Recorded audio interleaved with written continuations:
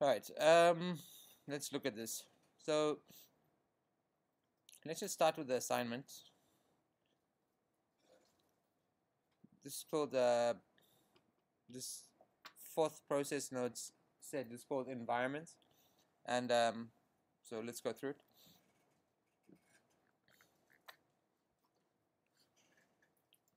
Uh, environment is kind of loosely loosely defined by some kind of space, place, context, and things that surround your character, things that your object can, your character can interact with.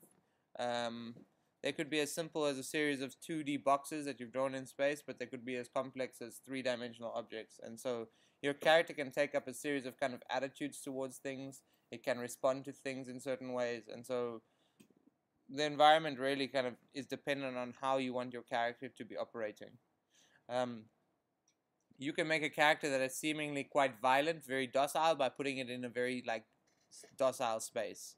But you can make a character that's seemingly quite calm, in like kind of angry in a very angry space. So it depends like what you put where.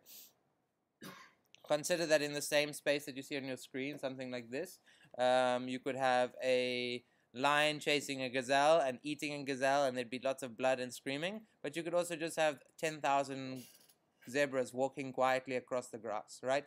So it's like one or the other and they kind of both work in the same value but let me tell you one experience is much more visceral than the other one. So with your character in hand and a narrative that has driven the development of your character you are now required to discover an environment for your character to exist in. This environment should reflect the zeitgeist of your narrative, the world that all things exist, have a series of scales that work simultaneously. These can be thought about in terms of detail level or physical size of the environmental material. And by environmental material, I mean objects, things, stuff, whatever you decide your object, your character is going to interact with. While we could invent this from scratch, we'll be designing, discovering this new environment by means of a found object assemblage um, with a few more kind of process operations included. You know, before we were kind of taking them directly, we are just taking the patent drawings as they were, but now we're going to kind of process them and own them a little bit more.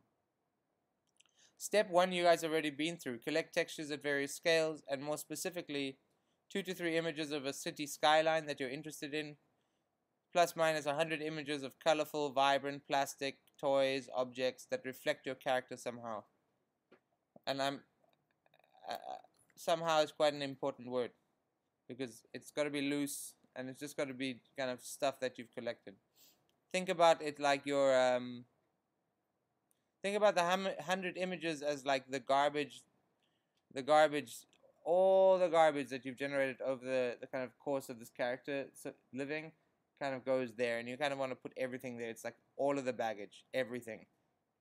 If you're yeah, really anything you can think of that's related to your character, put it there. Step number two.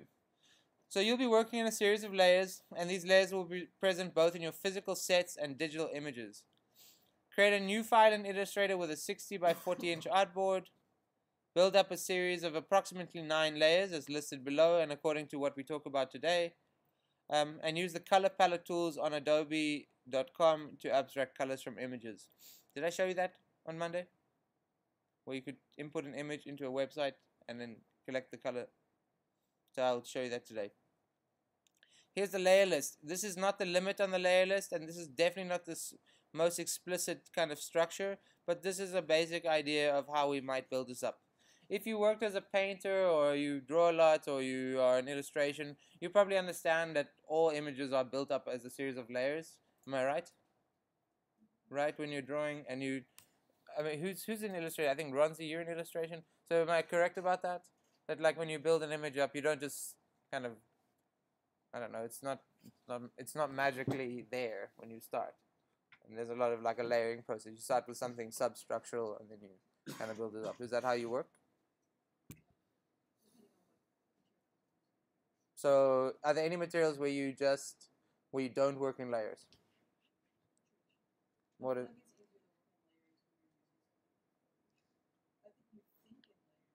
Yeah, but okay. So let's let's let's let's just collide thinking and making in layers. So then, are there any processes in illustration where you don't layer?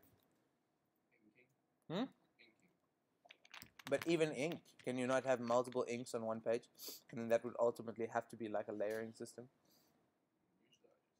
But usually it's just one, you know, it's one wash ink, right? Just a stem. Okay, so I think there are like a few where you have like, and so you'll see today, sometimes we'll work in a series of layers to build the object up, and sometimes we'll just use a single tone. And so if you can kind of think about how things can be built up in, I think of layers maybe more as process as well, and like successive process, you know, like how we do one thing and then we do the next thing. And so that's like a layer as well for me. Um, and so like layer of process versus layer of stuff.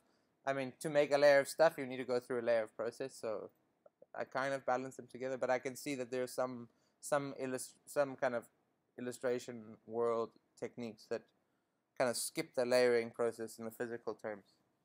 Okay, cool. That's a nice answer. Um, let's keep going.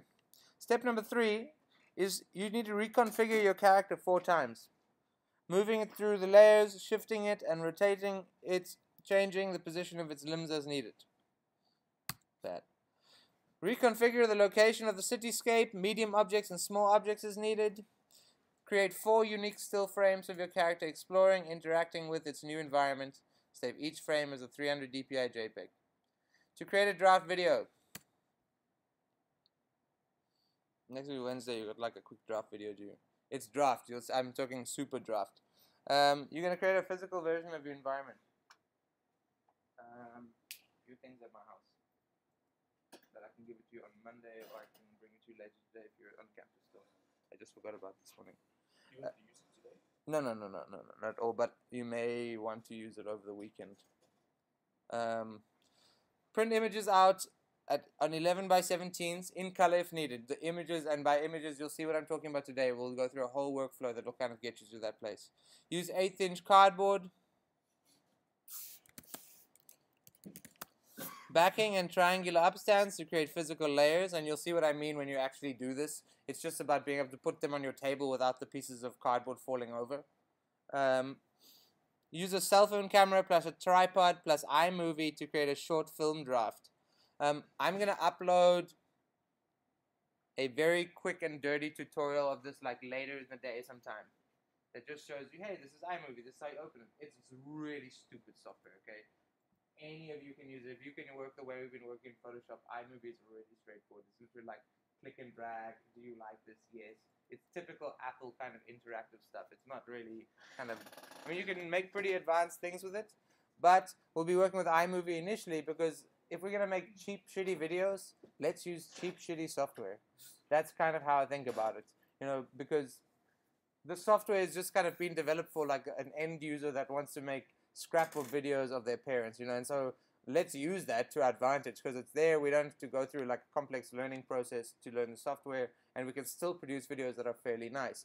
Um, in fact, I went through. I made a film in at, when I was in uh, my grad school, and I had all this fancy software. I was doing all the assembling, and and it was very resource intensive on the computer. And the one software that could seam all my videos together really cleanly was iMovie and it was really stupid because I had spent hours and hours and hours in like Premiere Pro, fix, you know, making things fancy. And at the end of the day, I just like dumped it into iMovie and seamed it together and played it, and it was awesome. And so there's sometimes we have to use like simpler tools. Yeah. Yeah, sometimes when I'm um, editing in After Effects, I get annoyed. Go to iMovie so much. Exactly, but that's the point. Like sometimes, like the simple things that we want. How many of you have ever tried to make a movie in something like After Effects? Have you ever tried to do that?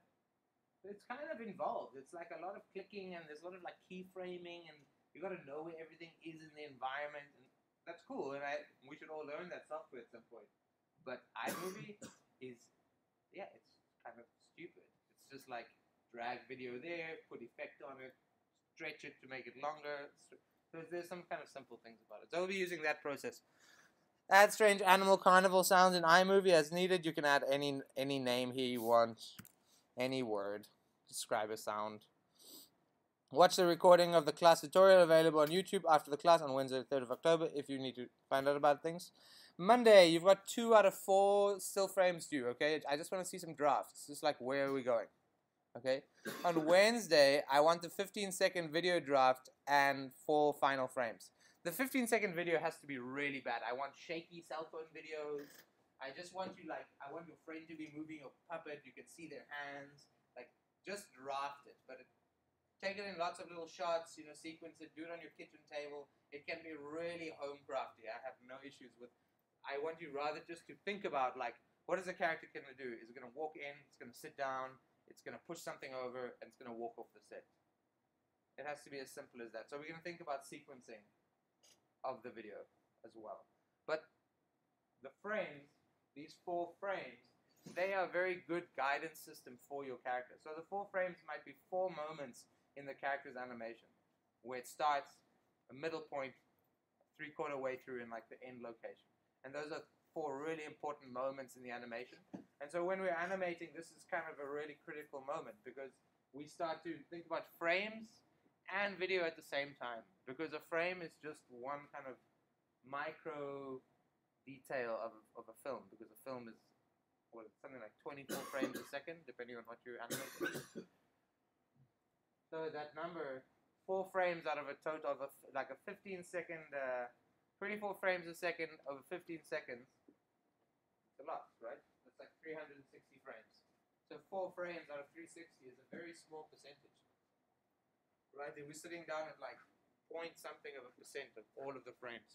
But they can be very, very important for the entire video. And sometimes we find with, with, with film, have you ever seen film where they kind of will pause on something and then something will happen in the pause scene but the camera doesn't move? That often happens when the camera's not chasing something, it's just standing still looking at something and the scene is kind of interacting. Uh, Wes Anderson does it a lot in his films. Like he'll pan across, like you'll see a section of a building, and then things will happen in the building, and the camera won't move. Um, and that's a frame shot that's being kind of taken advantage of because you don't have to, it's kind of resource smart because you can you don't have to change the environment that much. You just have to move like one thing around, and so it's a good way to kind of uh, work through your the kind of the project. All right, so the next process that we're going to go through, and I'm going to show this to you now, is this process right here. It's this kind of um, layering process in Illustrator. I'm going to introduce Adobe Illustrator for those of you that have never used it before. Um, and you're going to build up this kind of layer of things. And it's loose enough that you can apply a lot of your own color schemes, a lot of your own kind of imagery. You can adjust it in certain ways. I'm also happy if you want to kind of, some of you are clearly already illustrators or already have some kind of skill set, so you can redraw these objects in other ways. What I've done here is I've kind of made really simple operations for uh, people that have never done it before and they just want to kind of produce this thing. Um, but yeah, for now, this is totally kind of flexible. I think try and stay within the structure, but you'll just see, you'll understand the logic of it when we build it up. Um, but yeah, for those of you that are a little bit more advanced and kind of, because I've seen some of you, I've seen some of you just sketching, clearly I have more skills than my like architecture students.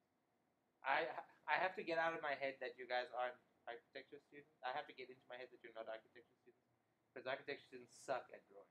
They're like bad at it. You think it's at the opposite, but they're really bad. They're like they can only draw straight lines. you have to give them a ruler, things like that. So with you guys, I'm going to give you a little bit more kind of have some artistic freedom in here. Like if you see like, oh, I want to make these medium objects, and I'm saying color trace them in Illustrator, and you're going like, hell no, I'm just going to draw them with a pen and fill them in with a Copic marker and have some really nice little sketches, and I'm going to bring those into Photoshop or Illustrator, go ahead. That sounds great to me. Okay, does that make sense? That you can kind of draw some of the components if you want, as opposed to like sitting and drawing them in Illustrator. Okay, let's get to it.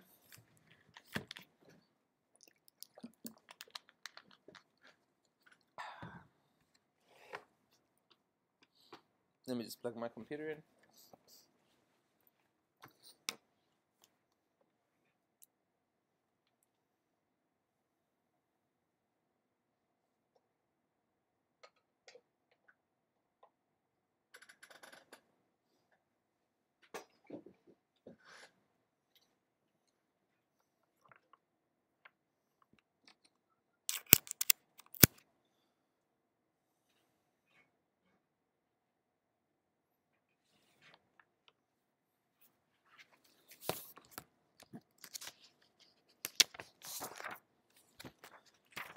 Alright, so if you go to the website again, um,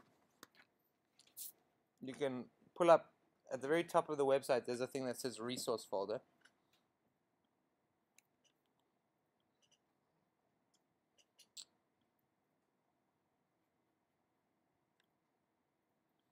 So just go there.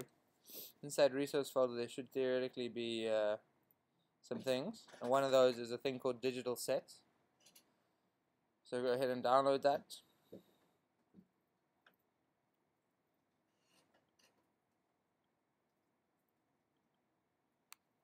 So I already have one, so I'll go.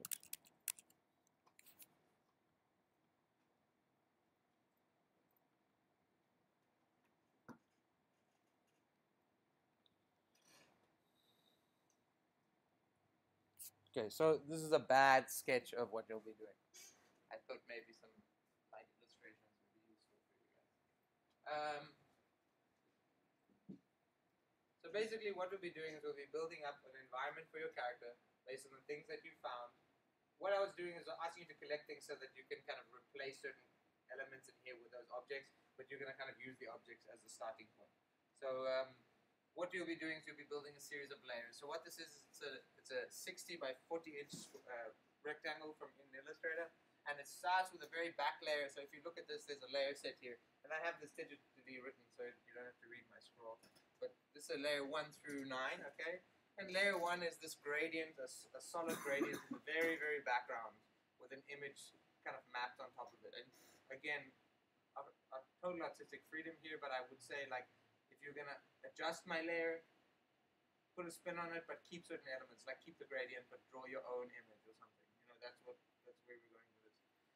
Um, so that's a solid color in the very back, or a gradient in the very background, and then so layer two is a, like a disk that represents the sun, and layer three is a solid color that's in front of the disk, so you can slide the disk behind the solid color.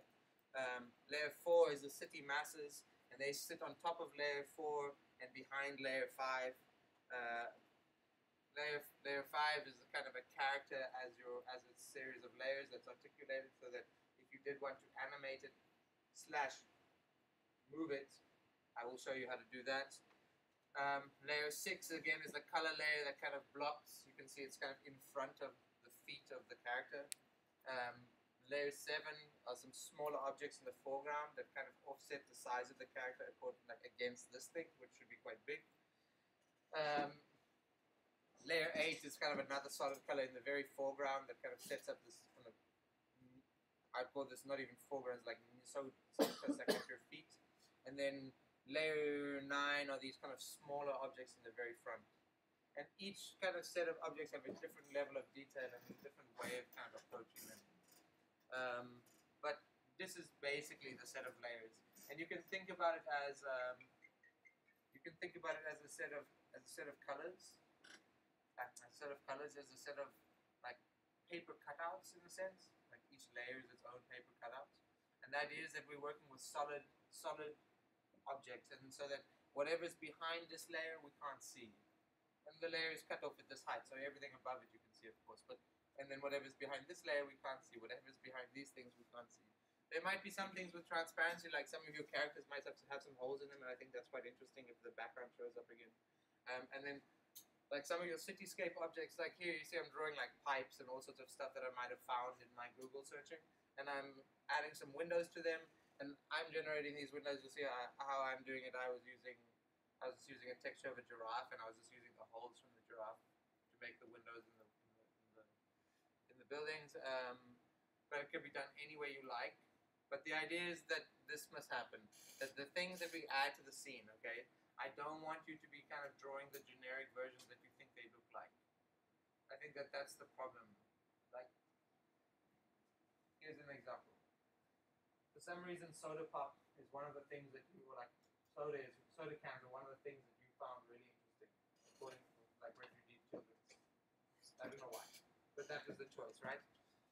Instead of drawing like a cluster of trees, make it a cluster of soda cans that you kind of repurpose into so they can kind of replace the objects. They should seem kind of naturally in their place. They should be semi-buried, like they've been there for a long time. They should just seem really normally there, but they should be these really kind of outworldly things. And so we can kind of build up tensions in the image that way. So you'll be working through it, and it can seem very normative.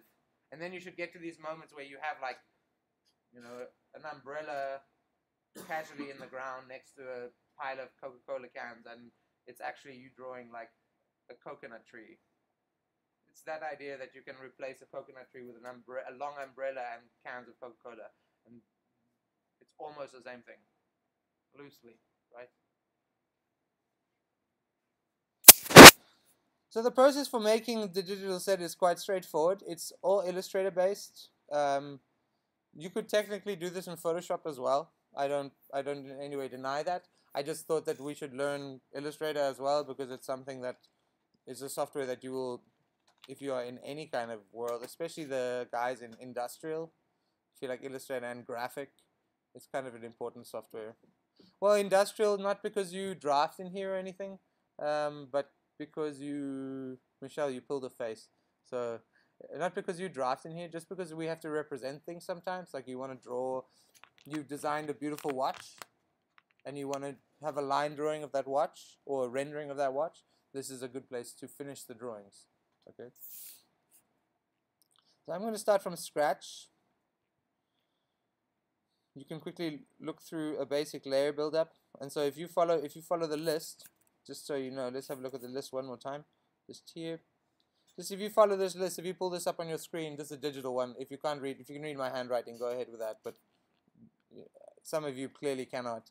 But so read the list here, same layer 1 through 9. Let's have a look at this. So I've done layer 1 through 6 and we'll build up a few more today. But once you get to about layer 6, I think you kind of get it. I don't have to go through the whole process. Um, layer 1, you'll see is this kind of soft gradient, right? we build it up from the bottom of the screen to the top of the screen. Layer 2, and I've kind of, in, in, in, the, in the assignment page, you'll see I've kind of combined it in layer 1 and 2 are kind of the same thing. Layer 2 is the soft image. I don't know if you can see it show up in the background. I'll make it a little bit more, a little bit uh, louder.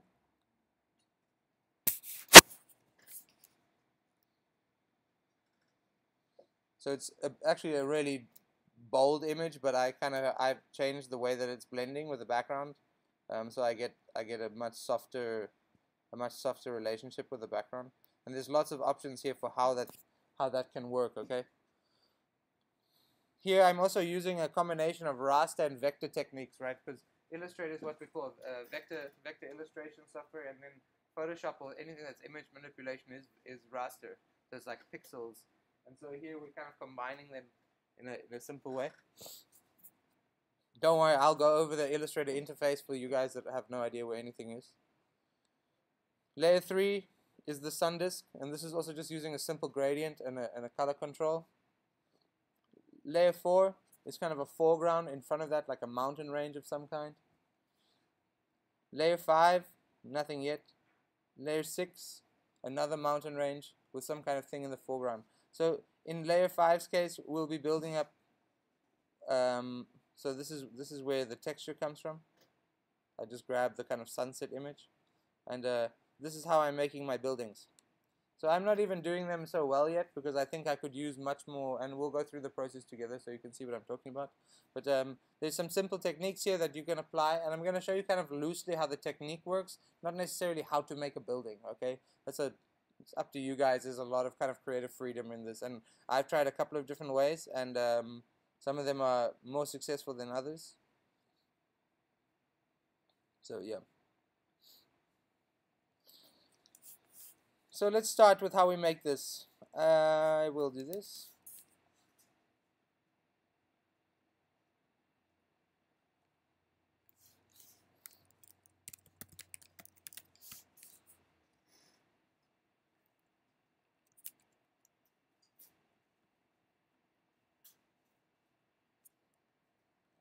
that.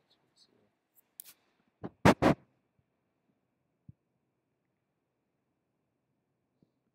Sorry, I gotta put this somewhere, otherwise.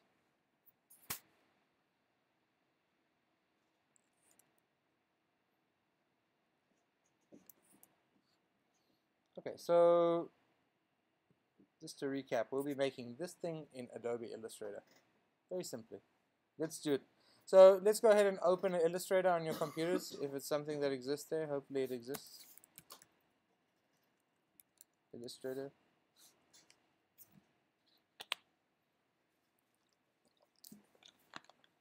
You too can.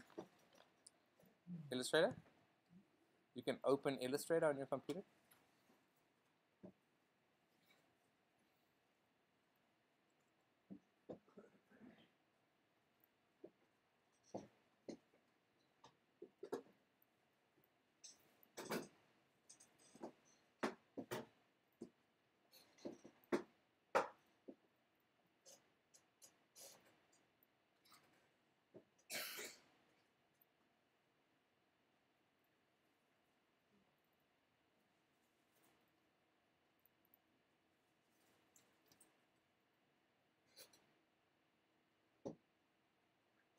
So this is the basic environment in Illustrator. Let's have a look at some of the things.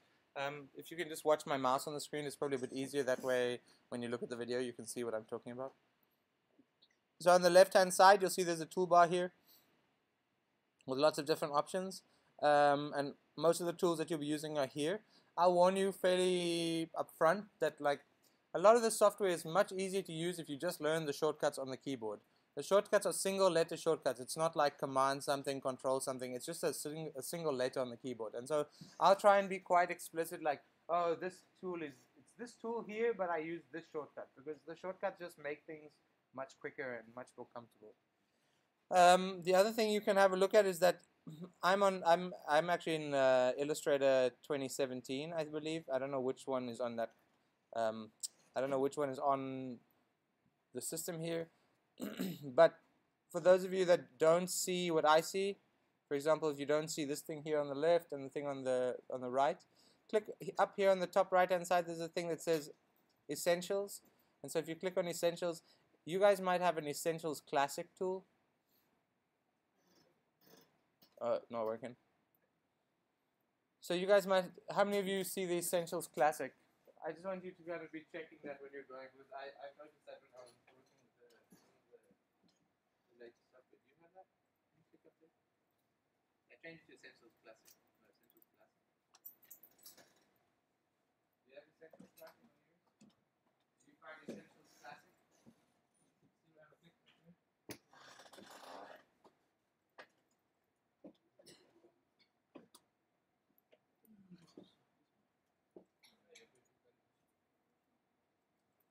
It's up here.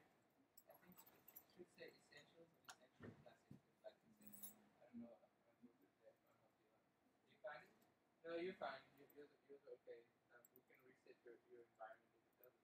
Because it looks like, you know, people have. Do you read Photoshop? That's not the right way. You do it in Illustrator. Hello. Illustrator. It, it's on the sign sheets. You find it? Essentials Classic. So if you can just, if you want to have a look, Michelle's got it worked out there. Um, do you not have it? No, uh, what size do you? Oh, I'll get there. I'll get there. So this is the environment. So let's make a new file. Let's just kind of get to it.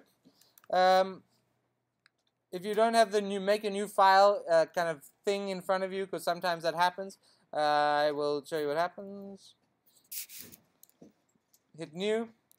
And so maybe you have this kind of little dialog box in front of you. So let's set up the size here. So this is place right here is a good place to set exactly the kind of what you want your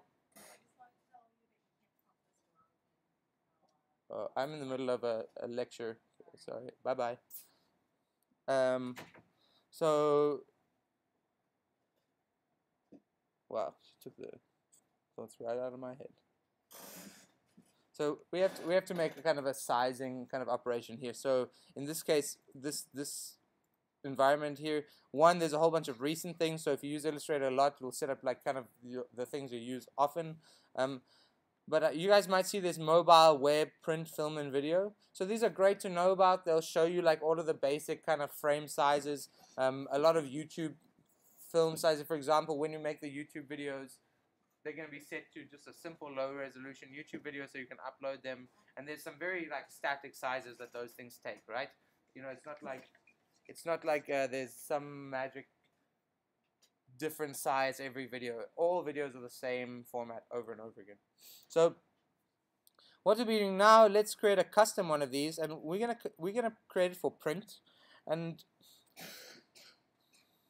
this is fine, but we got to make sure of some settings before you open the file. the very first thing I want you to do is make sure it's not points and it's on inches, just because.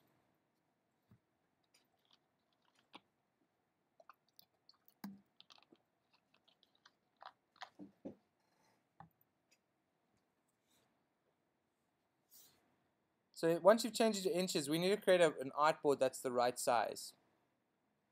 So we'll be creating quite a big image. Um, and I like to create images that are usually bigger than the size I print them out. In the computer world, it's just a smart way to go because sometimes there's more often than not that you want to kind of shrink something down than well that's a bad that's a bad statement but I find myself shrinking things down to reformat them more often than I find myself blowing them up to print them even bigger format so I tend to make them at the biggest format I can kind of see them being made and so in my head 60 inches is pretty big I mean it's like three feet um, so like a 60 inch drawing is plenty. And so we'll be creating an image here that's 60 inches wide by 40 inches tall. Um, artboards over here are kind of workspaces in Illustrator, and so we only need one of them. And color mode, CMKY is totally fine. If you click more settings, you can, if you click the more settings button here, you can change the raster effects, the high level raster effects. I want you to keep it at high here, 300 dpi, okay? We'll talk about dots per inch at some point. Press enter to create, and you should end up with some kind of scene like this.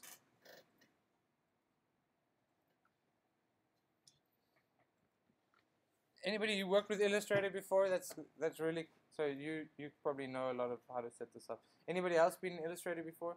Okay, so I'm sorry if you're bored. Okay, I'm not gonna do anything crazy today, so just just a, a warning. Okay, so let's just work through the layer sets. Okay, very straightforward. And by working through the layers, you guys can ask questions about how the tools work, and we can kind of sort things out as they go.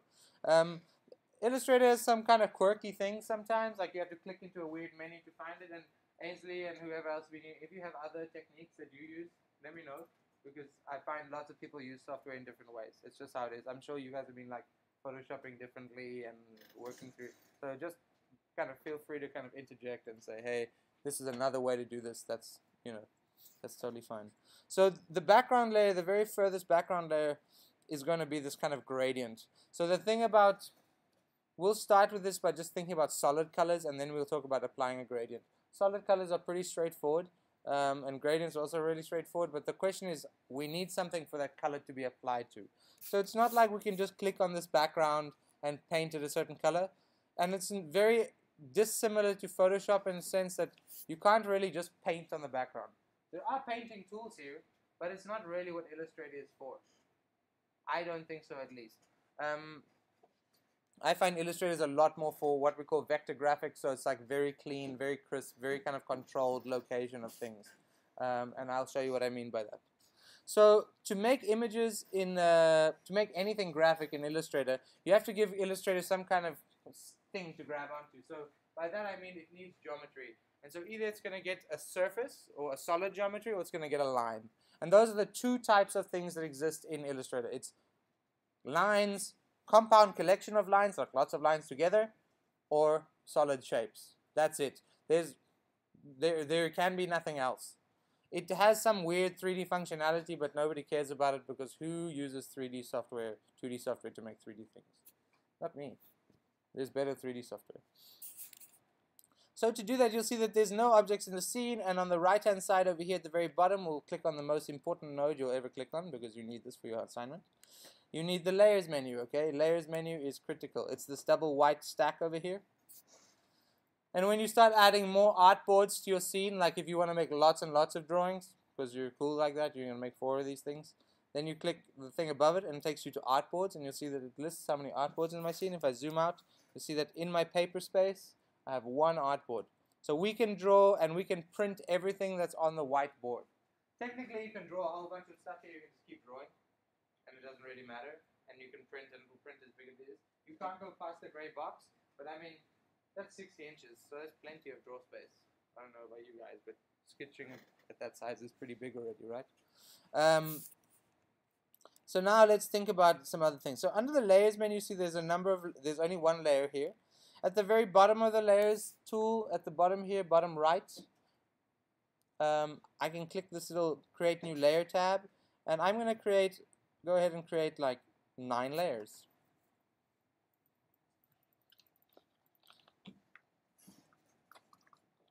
Each layer is colored differently for your kind of pleasure. Um,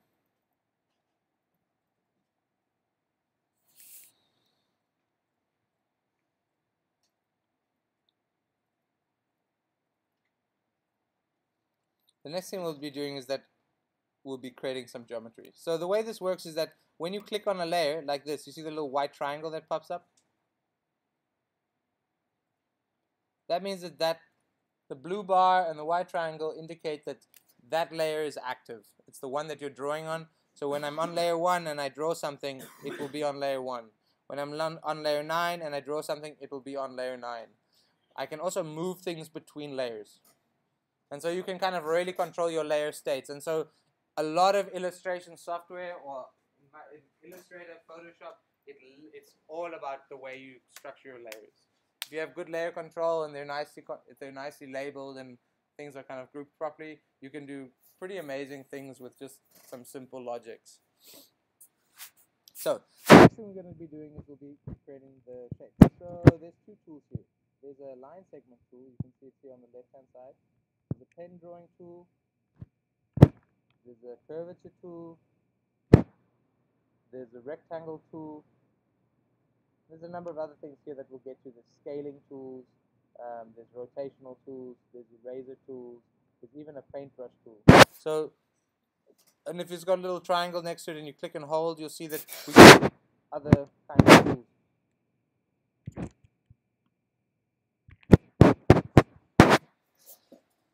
Now, I actually highly recommend that if you know how to use AutoCAD or one of the kind of drafting softwares, at a later stage in your life when you're illustrating like for CAD, uh, when you're when you're drawing things to send to Illustrator. I love to illustrate in things like CAD because CAD is it's designed for line drawing. It's like the pencil version of the computer, and it's kind of amazing if you've sketched a bit in your life. It doesn't have the same kind of qualities. You can't sketch sketch, but you can definitely draw shapes out. So at some point, if you're interested, you, you might kind of look at that software. So let's make some shapes. Let's click the line tool, just do some experiments here. I just click the line tool, I'm just clicking and dragging.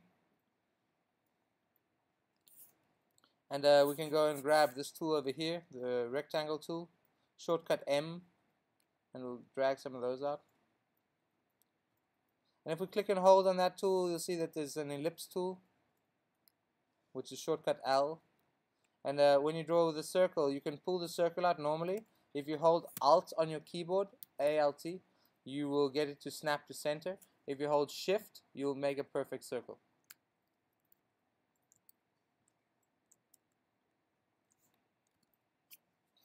Is everybody able to make some kind of dusty line drawing like this? Yeah?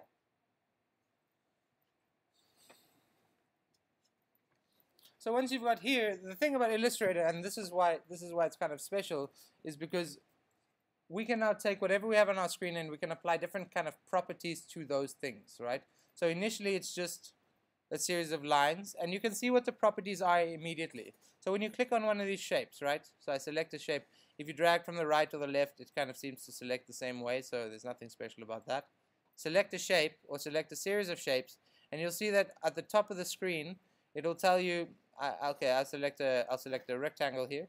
It'll tell you it's a rectangle okay? And uh, it's got no fill. That's what this red stroke is through here. So there's nothing filling the shape. If I change this to something you'll see it fills with a color. It's got some kind of outline that's a black color. And it's that outline is a certain size. It's one point thick.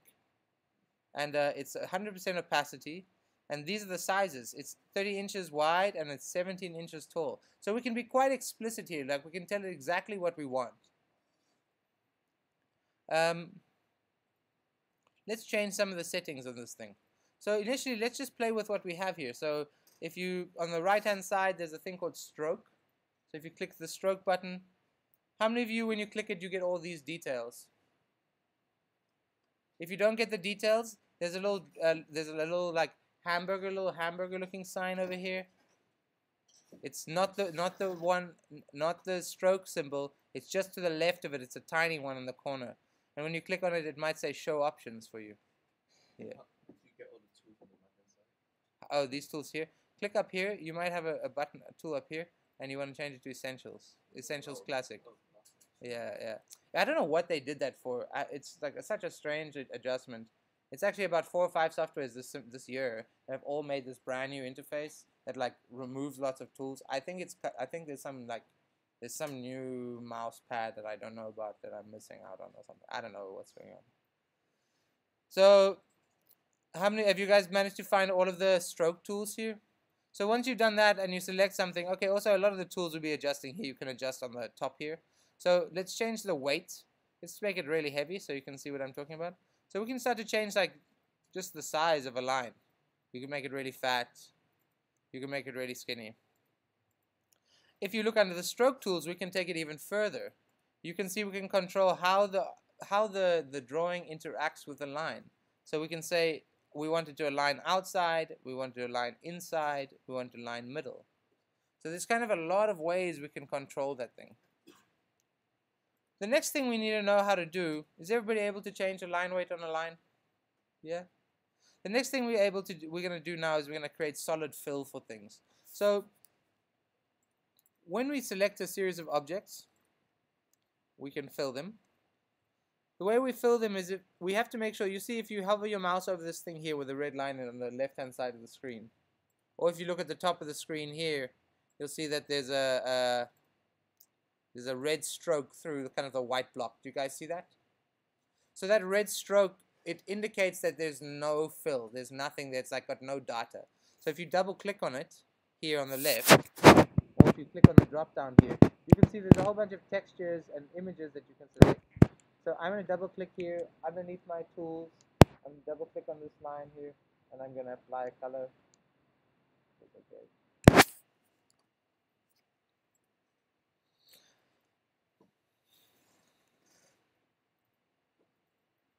And I'm going to go ahead and apply a couple of different colors so we can get some contrast in here.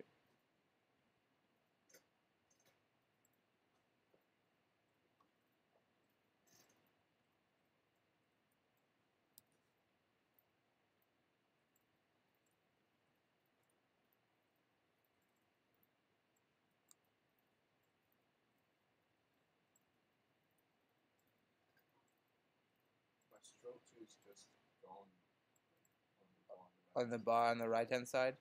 Um, okay, so guys, I, I'll quickly show you something. I have a suspicion that the the computers here have been like hacked at by a thousand stupid students over the last four years, and so like the Illustrator interface is going to be a bit crazy. Um, so let's quickly do something here. Give me one second, and I'll show you how to fix the interface. I'm just setting this up so we can talk. Okay, so if you can't do this, that's fine. I will um, I will help you out with it in a second. Okay, so we have it set up like this if you have lost some tools, like if you don't have the same full full tool set on the right hand side here, for any of you that have lost tools in Illustrator, you need to go to Window, Workspace. You found it? Window, Workspace, and Reset Essentials. So when you hit Reset, it will put everything back where it should be. And we'll put it back to the default. So even if somebody before you has made some custom drawing environment, you can select this here.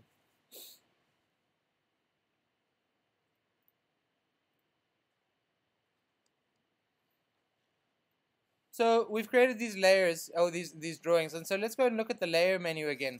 So you'll see that everything's on the same layer. It's all on layer nine. Okay. Um, but there seems to be some kind of hierarchical structure here. There's like a layering going on. So if you click, if you look at layer nine on the right hand side, there's a little arrow next to layer nine in the layer menu. If you click on that arrow, you'll see that suddenly all my shapes are, are described there. There's ellipsoids, there's rectangles, there's lines, and so it's in the entire layer set. And as I move these around, and I can drag them, but they can kind of drag them on the layer menu, I can make certain things be in certain places. So if I want um, to change the location of certain things, I can. Bring something to the top, take something to the very top, like so, send something to the very bottom, bring the ring to the very top, we can kind of move our layers around that way, and that's quite that's quite efficient. But this technically, this is lots of kind of shapes on one layer, and we can operate in that way, and that's kind of how we'll be doing this. We'll be kind of building layers and groups of layers that are solid.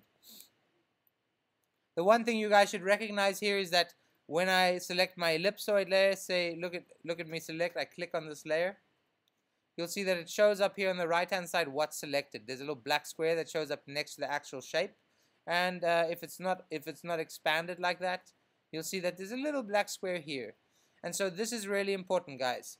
When you want to move things between layers, select the items you want to move. So I want to move all three of these things here. I want to put them on their own new layer.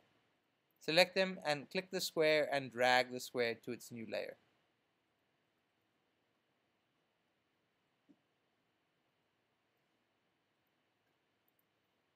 Ainsley, have I lost you yet? Or are you still totally on board? Okay, I'm just, I'm just, I just trying to work out what, at what level you guys are at. No, I mean, have I lost you in the sense that like you already know all of this stuff? Okay. Okay, so everybody now should be able to make a shape in Illustrator, change its color, change its line weight,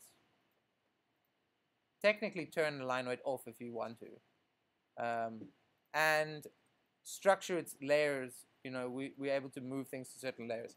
Um, if you want to draw something on layer 7, just remember to click on layer 7 before you start drawing.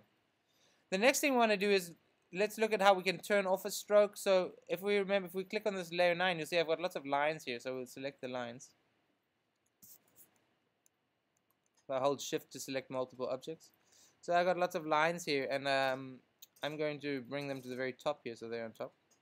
And now let's look at some of these settings here. So the, the stroke, the, the fill doesn't need a, anything, so it's because they're just lines, so I'm going to close that. And now we want to kind of make them show up a little bit brighter, so I'm going to give them some kind of really obtuse color, and I'm going to make them a little bit heavier.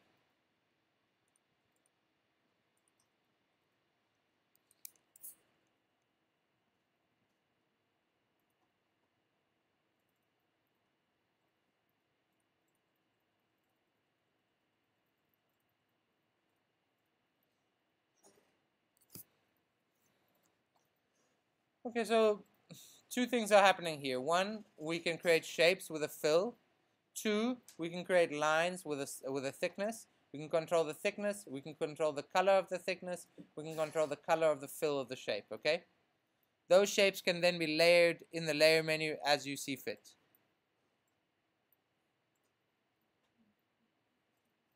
If you need to move things around, on the left hand side of the screen, there's two tools. There's those white, there's a white kind of direct selection tool, and there's a selection tool. I like the selection tool. The shortcut is V on the keyboard. It's the black handle here. It's drag, select, and click and drag. Okay, really straightforward. Nothing more than that. Click on something, drag it somewhere else, or magically input its location here in the top in some coordinates that I don't know how to do. I mean, I know how to do this, but I don't think it's worth kind of thinking about that at that level. I'm going to delete everything in my scene. Does everybody know how to do what I've done thus far? Can you do this? It's really easy. Okay. But even if you... Hello? Lee? Ken? Are you able to make shapes in Illustrator? Can you make what I made? I can't even hear what you're saying. Talk louder. Hello? What did you say? What did you say?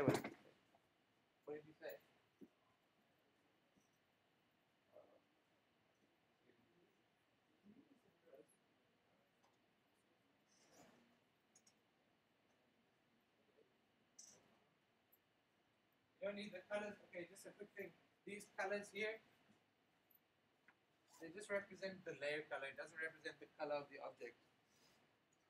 We change the color in a different way. We change the color by selecting the object.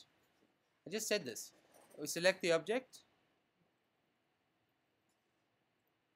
And we change the color here on the bottom left hand side, not in the layer menu. There's layers and then there's the, the, the, the color of the object.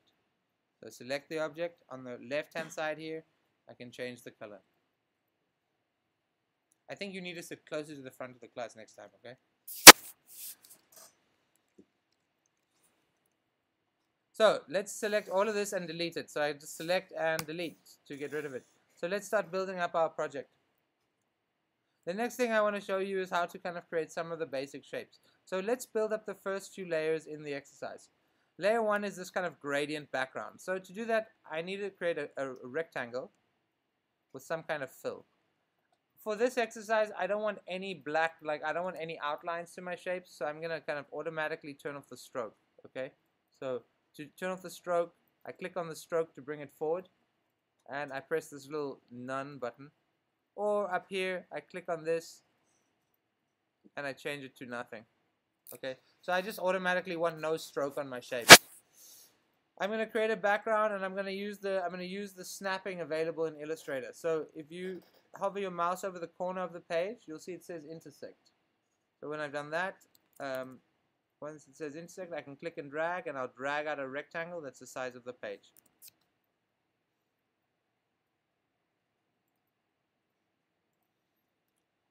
We now want to apply a gradient to this. Um, so there's kind of a, there, there's probably a few ways of getting at the gradient. Um, but the way I like to do it is this. I select my object using V, like the selection tool.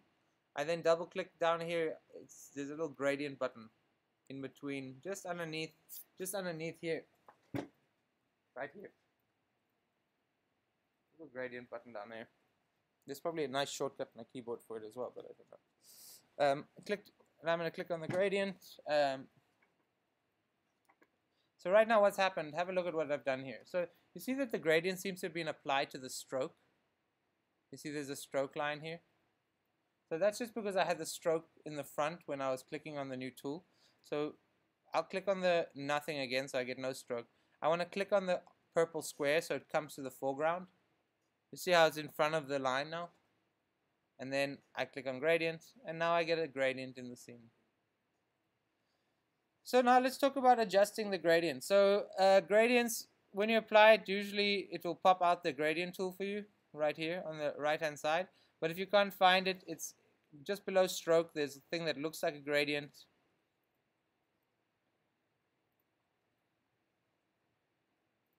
You find that? So in there, we can change the different types. So you, if you change it from linear to radial, you see you can make kind of a circular from a square one. And you'll see I use the two different types for two different kinds of illustrating. Um, so we'll start with linear, okay? So the next thing we want to do is we want to change the direction of it because right now it's running in the wrong direction. I'm kind of trying to create a sunset environment. So I'm going to change this angle here from 0 to 90.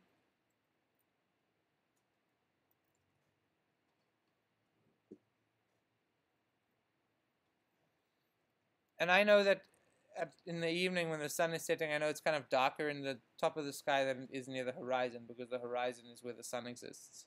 And so here I can now change the colors. So if you're trying to change the colors on a gradient, this is one of these things in Illustrator that I find really obtuse, but it might just be because of the way I do this. And uh, so when you create a gradient, if you see in the gradient tool, there's these little blocks here, and there's sliders, and you can move them around if you want to kind of make, you know, if you want to make the gradient operate in a different way, etc. Um, but if you keep them as they are, just like this, and you double click on them, you'll see that I get some options for colors.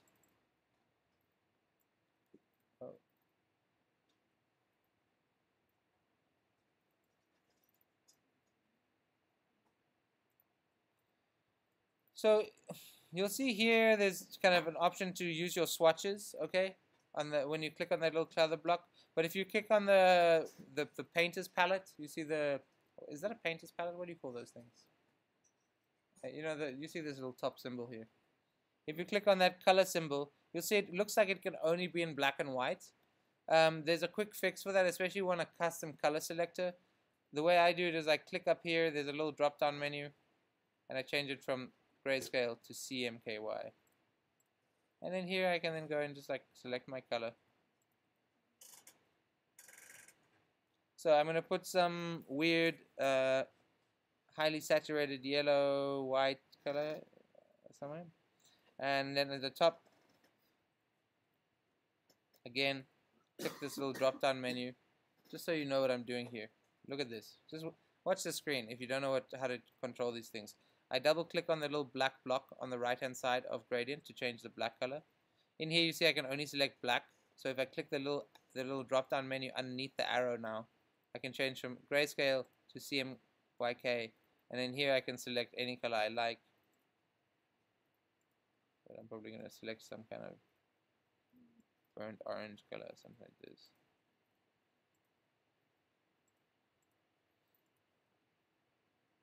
That's layer 1.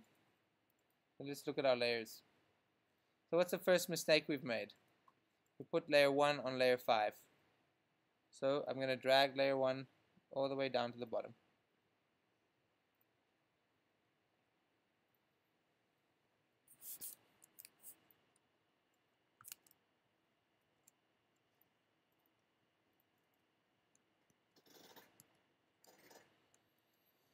The next thing we want to do is import an image into Photoshop, into Illustrator. It's really straightforward. You can do it in two ways. You can open the image, and so I'll just do it that way. You just go ahead and go to your, you know, I, am looking for some kind of sunset image like this. I generally like ones that are a little bit more stark. You see it's a lot more contrast in this image than in this one. Um, in this image it's a little bit less contrasted than this. Okay, so pick one of the sunset pictures. Uh, you pick your own. That's okay. if you just want a, if you just want a, a quick sunset photo.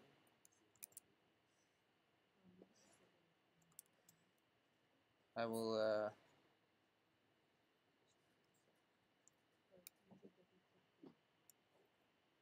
I'll upload some sunsets for you if you want, but they're totally Googleable. I think some of you didn't quite work out how that gradient thing works because it's so it's kind of quite silly. It's again, I'll do it one more time. When I have the gradient selected, I click on the gradient tool. Let's have a look here. This is how to change the color. This is something that is not simple. I don't know. If is there another way to do this? You have to you click on the color block. Hey hey, look at what I'm doing. You click on the color block and then you click on this three little layers, little symbol just below the block. And you change it there from grayscale to color.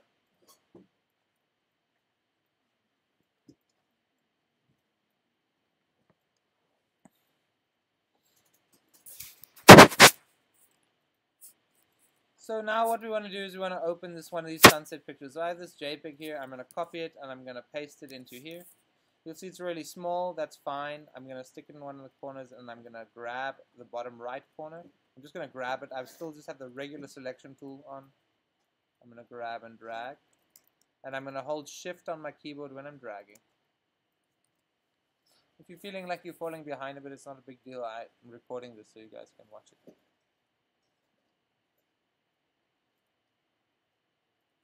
The photos of the sunsets are in the resource folder if you want them, but otherwise just grab your own photo. Anything will do. You have a question?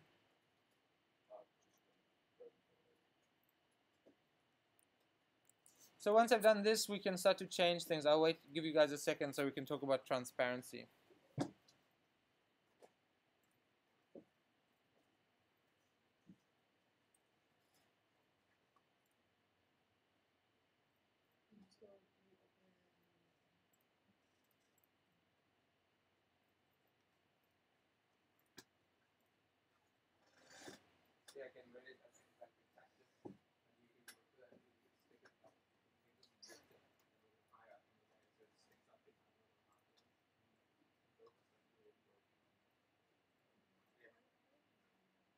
paste this in here?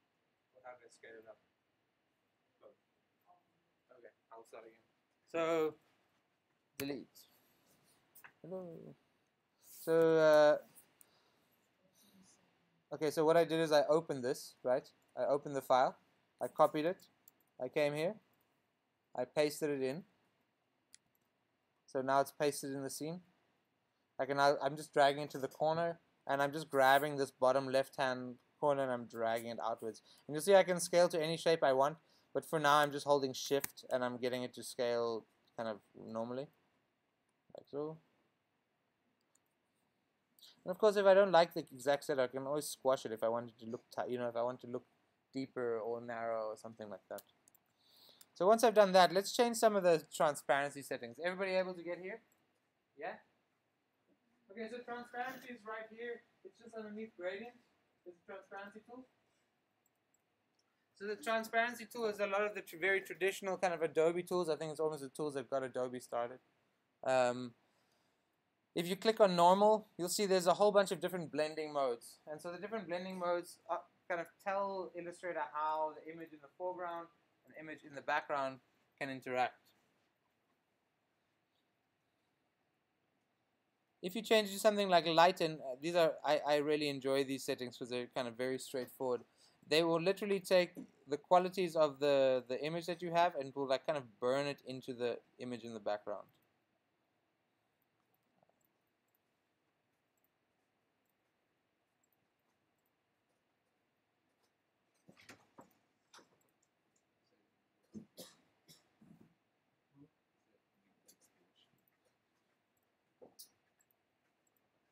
So first you set the set the set the the the blending mode to something else.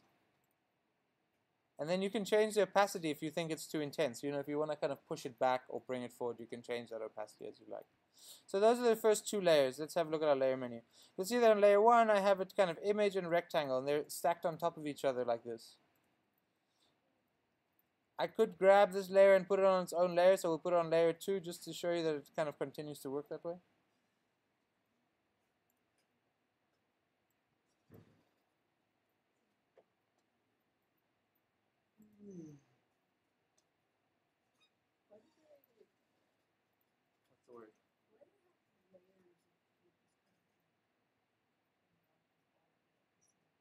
Because you're going to see after a while you want to lock things.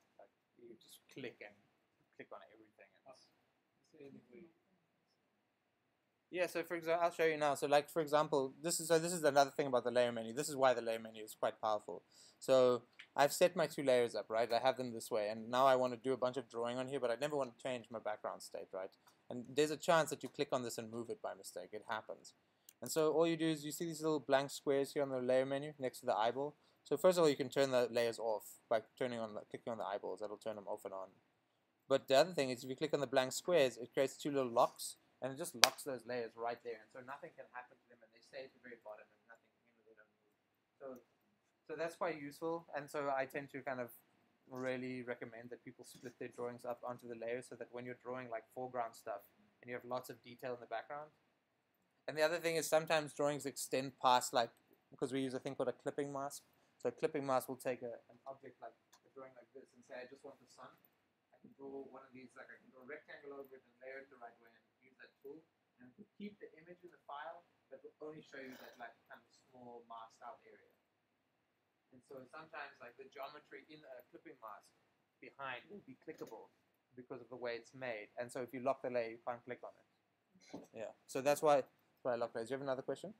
No, I'm just saying, I had experimented with Illustrator before, and I was trying to do like line drawing things and like color in the background, and it just erased all of it instead of erasing all the parts. and it's just about your layer structure. So the one thing I haven't mentioned is that layers here, this is the bottom of the pile, and it's the furthest back in the page, okay? And this is the top of the pile, and it's the closest to you. So think about this in this direction. All right, let's build the next layers. Uh, layer number three is a solid color. So let's look at how we can create some solid colors. I'm going to click on layer three to activate it so I can draw on this layer when I'm working. And I'm going to use the pen tool. So it's the third one down. So the pen tool is quite useful. So the way the pen tool works is that if we click with it, we make straight lines. But if we click and we hold, we get a Bezier curve. And so you can create some completely custom shapes as you like. And it's taking the last kind of fill settings that you had. Okay, so let's do that again. Pen tool. So now I'm going to create that background shape. And it's a very straightforward operation. I click on the bottom left hand corner once. You can start anywhere you like, but I'm going to start here. Pen tool, P is the shortcut. Click. If you want to create a perfectly straight line up and down, horizontal or vertical, hold shift. Click about three quarters way up through the drawing somewhere around here and then start to click into the scene and then your second click along you start to soften this stuff out. So as soon as you bring it into the kind of drawing area like I'm doing now just click and drag.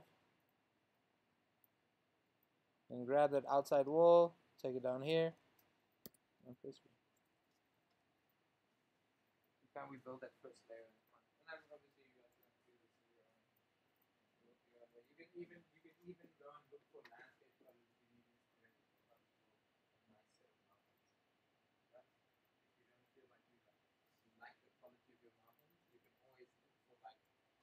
Mountain range in the world and just quickly paste it in there and quickly sketch over it to get the. I almost never I highly recommend just always doing that. Like if you're looking for something, just go find it. Like somebody's taken a picture of it and you can probably draw it. Okay, so we've got that layer. So let's create the sun now.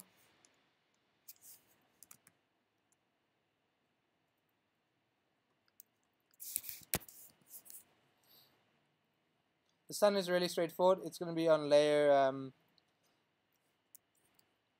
it's going to be on layer layer four. Is that right? No. Oopsie. So um, let's move everything that's on layer three right now. Let's move it up. And then on, um, so that's all in layer 4. And I'm going to go back to layer 3 and create a circle. So an ellipsoid tool. Some kind of weird size, something like this.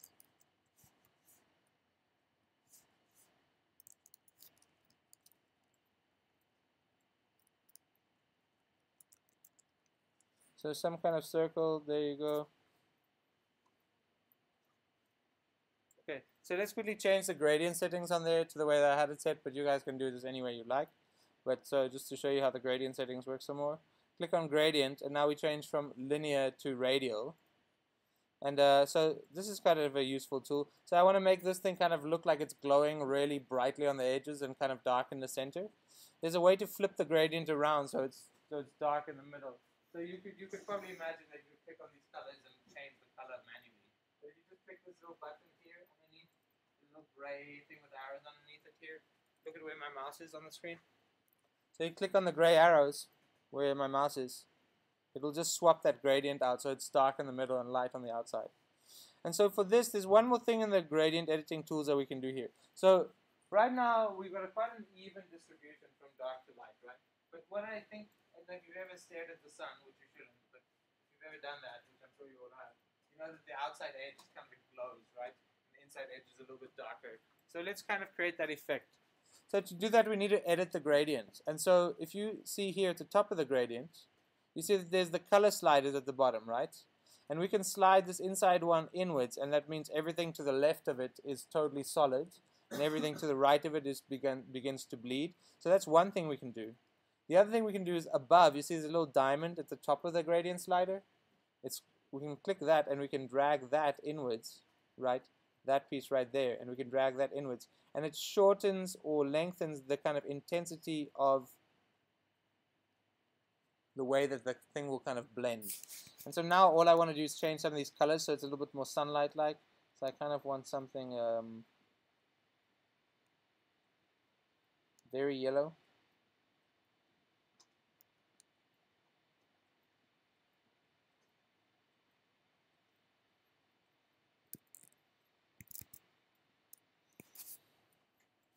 And so you guys can keep playing with it until you like it.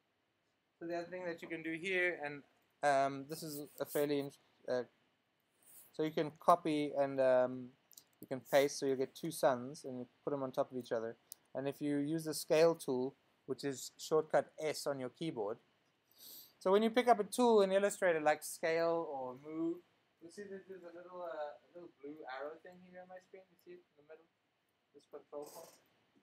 That control point is kind of an anchor. You see this thing? That anchor tool. So when you when you when you're scaling things or moving them or creating things, you'll see that now when I scale my when I'm using the scale tool with the disk, it's scaling according to uh, that center point, right? So if I scale holding shift, it will scale kind of uh, it will scale equally in both directions. And so I can build kind of a layered sun that way. And so you can build up this quite intense looking thing and you can just shift the colors really subtly every time.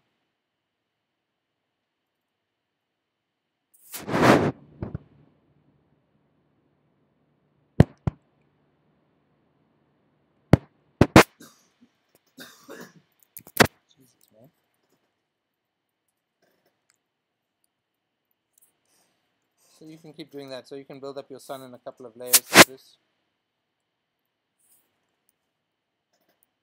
So Control V or Command V on your keyboard, right, is paste. But the way that things paste in Illustrator are quite interesting. So if you just Command V, it puts it in the very middle of your, your screen. But if you go to File, or if you go to Edit, you'll see there's a paste in back, paste in front, and there's a paste in place. Uh, paste, like Control F will paste the thing directly where it was at the very front of the layer set.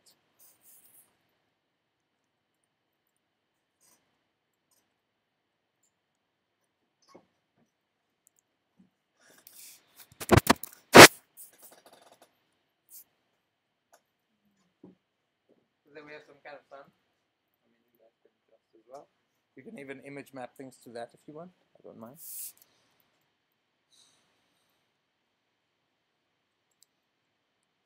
Okay, so step next is the city. Um, so for the city, we need our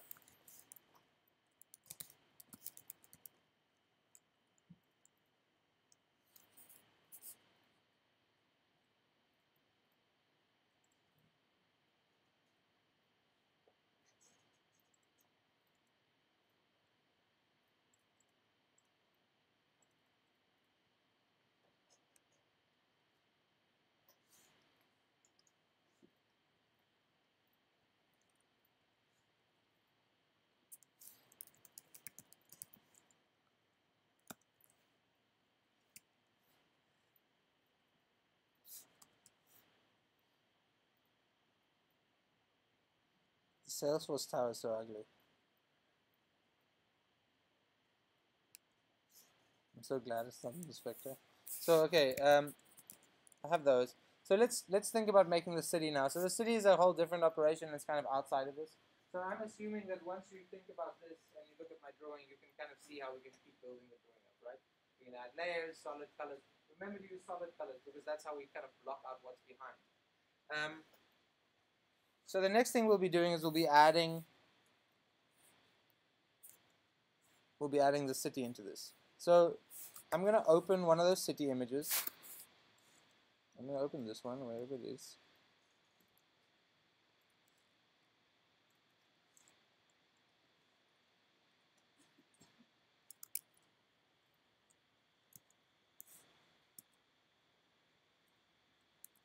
It's very small.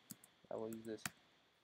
So this is very tiny, but okay. So just kind of zoom into it. So the, what I'm going to do here, let's see if I can find a slightly higher resolution photo.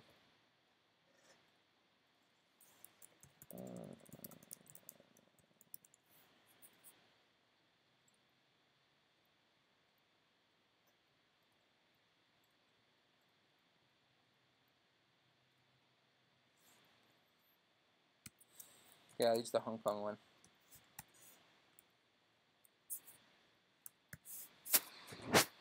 We're going to open Hong Kong skyline like so, and we're going to zoom in, okay?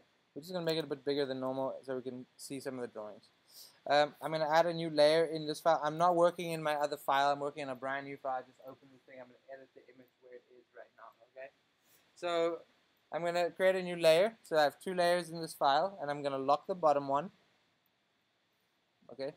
So I just have two layers. And from here, I'm going to use the pen tool or a combination of the rectangle tool and the circle tool and I'll show you what I'm talking about. So I'm going to quickly create this building right here.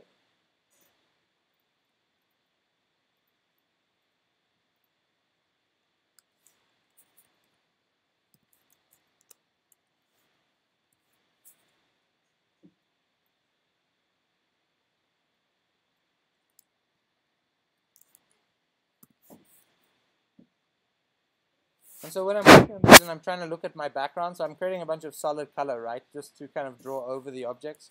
Um, what I'm going to do is I'm going to select the solid color, and I'm going to go to my transparency settings, right, and I'm just going to turn the opacity on this layer just, just, just down a touch. Okay, so I can kind of see what I'm doing. So that's that shape. Let's keep going.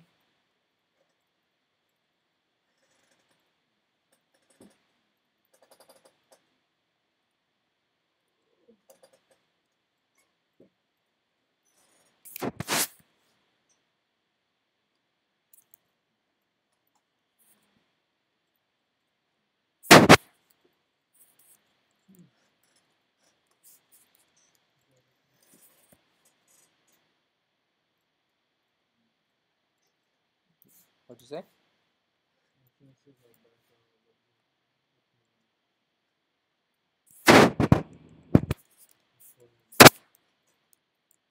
So basically what I'm doing is I'm collecting city shapes, right? I'm going and I'm tracing and you see how loosely I'm doing it? I'm not trying to go for details.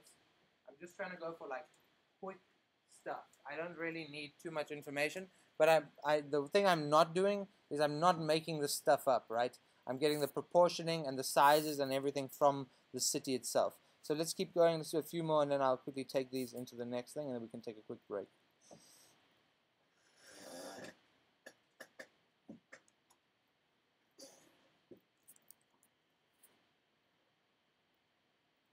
a lot of this is to do with proportion. Sometimes proportions are hard to work out. So an easy way to work out proportions is uh, to just steal the proportions.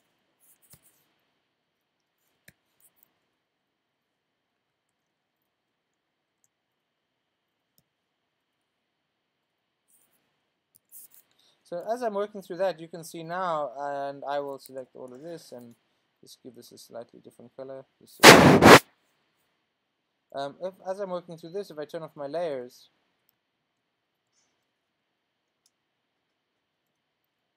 you see that we start to kind of get this collection of shapes, okay, in one way or another. So we get the skyline that we slowly build, and it's a very abstracted skyline. Like we're not trying to get the details out of it. We just want enough information, but you don't want to make this up because you guys aren't architects, and you also didn't design a city for 400 years. And so there are a lot of reasons why you're bad at designing buildings, but maybe you are really good at it and you can imagine it. But for now, just kind of play this game. So once you've done this, um, there's one more tool I need to show you here. So I'm assuming you've gone and sketched out a bunch of buildings from here, but you'll see that these parts are kind of separate. And so you need to sketch them out using solid shapes. Okay. So once you've done that, we can use a tool called the Pathfinder tool. So we go Window. Just watch what I'm doing on the screen now, because this, if you don't see me do this, it's kind of mind-numbing. So Window, Pathfinder. So this is the Pathfinder toolkit right here. Pathfinder tool will allow you to kind of play with shapes in terms of in terms of what you know if you want to kind of blend two shapes together. Um, so for example, right here I want to make this thing into one closed shape as opposed to four or five shapes. You see? So I select all the shapes and in the Pathfinder tools right here I click on the union mode. It says union. You see the first one? I click union and then I get one shape. That's super useful for kind of quickly illustrating stuff. Um, so you'll see that in some of the some of the requirements, like the very last part of it, like where you make the little pieces, they're just solid drawings of the object. And so I just need to go in there and kind of sketch the solid out. I'm going to select this one. We'll do the same, union it, and so we get these drawings quite quick.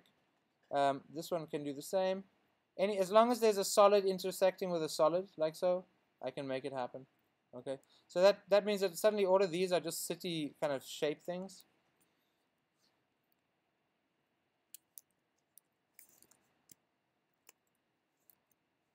The only thing I tend to do with drawings like this, because we're trying to get a little bit out of realism, is I tend to grab one of the handles and I'll like I'll I'll move some of the handles around. Um,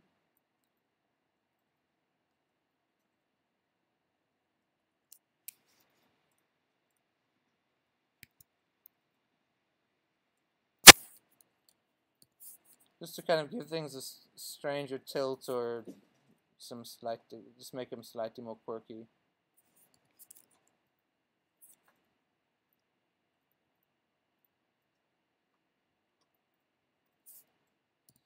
And things like that. Okay, so I've done that. I kind of built this set of drawings up. Um, I'll then kind of bring them together in a series of layers. Uh, like so. So the next thing you'll be doing here is you'll be kind of creating holes in the objects. Okay, you want to now cut holes into your objects. So once I've got these solid shapes, and the solid shapes are important for this, you need them. You're going to find some kind of other texture. Um, you may find that it's some from an image that you have that you've that you've created. So I will open in something else. Uh, where's my? So uh, for example, I have this here giraffe.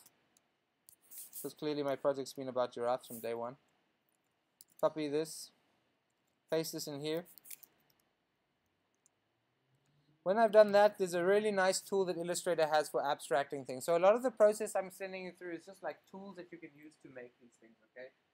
There's some basic requirements for the city, but they can kind of look any way they like. So when we bring an image into Illustrator like this, and it, you'll see you can try this on the city images, but it doesn't work so nicely. But you, when we bring an image into Illustrator, like that's got a white background, it's kind of an object image. That's why I asked for object images. We can use this image trace function here at the top of the screen. So when you select something, you'll see that a tool here pops up that says image trace. If we just hit image trace, we don't really get a satisfying result. But if we click on the little arrow next to it, we can select a whole bunch of options here. So I'd like you guys to try some of these out, but I'm going to start with just a black and white logo. Okay? And so Illustrator will automatically convert some kind of graphic and doesn't always work as nicely as with a giraffe. It looks really nice with this giraffe because there's a kind of a contrast in the image. But Illustrator can, can build these kind of graphic images for you quite instantly. Once you've done that, you'll see it's kind of a big block still, and we can hit this expand button at the top, and that kind of breaks it into its parts. You can right-click and you can ungroup because it's grouped together. Um, and you can kind of delete what's in the background. So now I have a bunch of shapes here. and I can overlay these.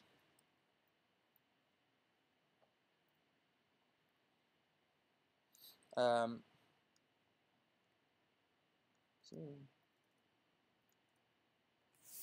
I'm going to rotate this.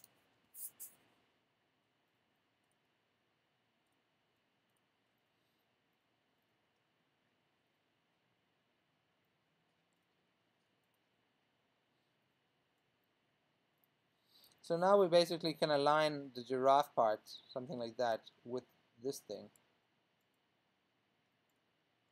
And I tend to scale this stuff up.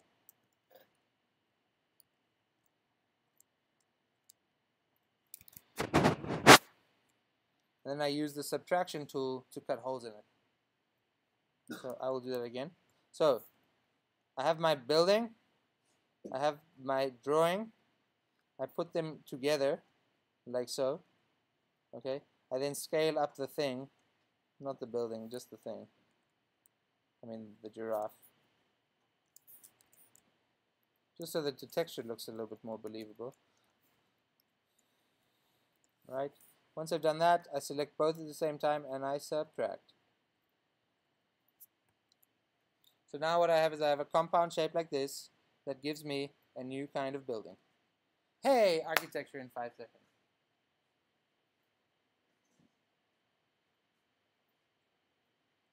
subtraction tools in Pathfinder. Okay, so you're going to use the union tool to put the shapes together to make the solids, and the subtraction tool to create this kind of background. Once we've got a number of these, I'll do a couple more just as I can.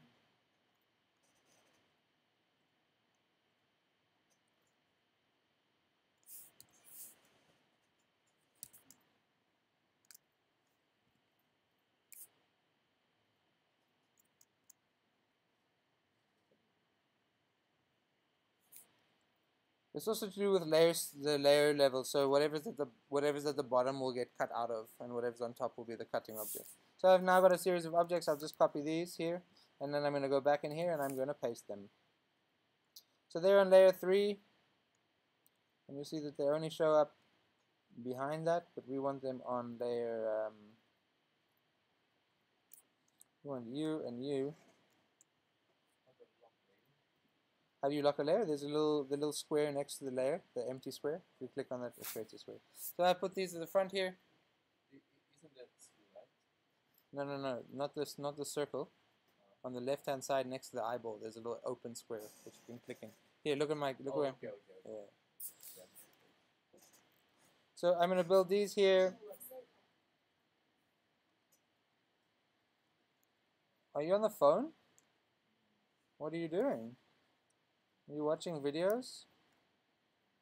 That's not good. Imagine you. I. I I don't know. I can't hear what you're saying. You are mumbling. So you can build these up in various amount of detail. Um, we get this kind of to some level that we like, and we can add a lot of these into the scene. So uh, we'll do this a few more times. I'm just going to select these. They can be any colors you like.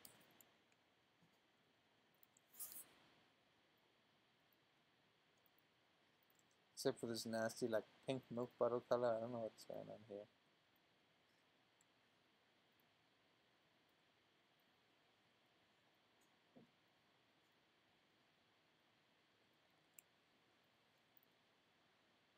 So for the cityscape, I would go for a couple of colors, and I would also think about how you can fill in the inside here. So um, when you're when you're over here,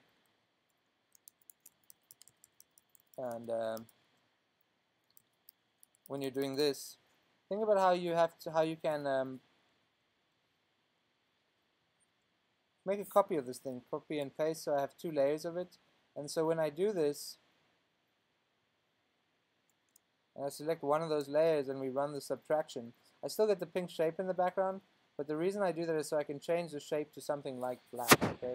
And then once I've done that, I kind of get the, oh, see, it should not, uh, oh, it's because it's got transparency on it.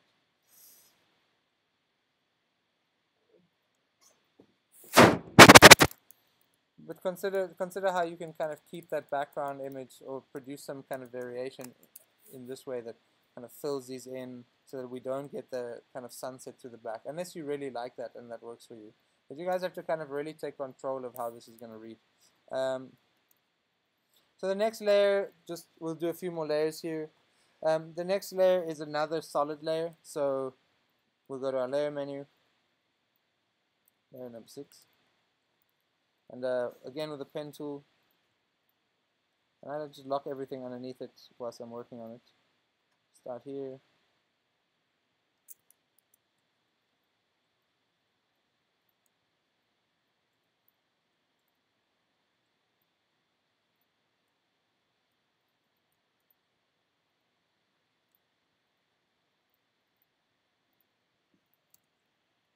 in this in this uh, this time you guys are going to use a solid color so you can just kind of um, you can eyedrop a color from somewhere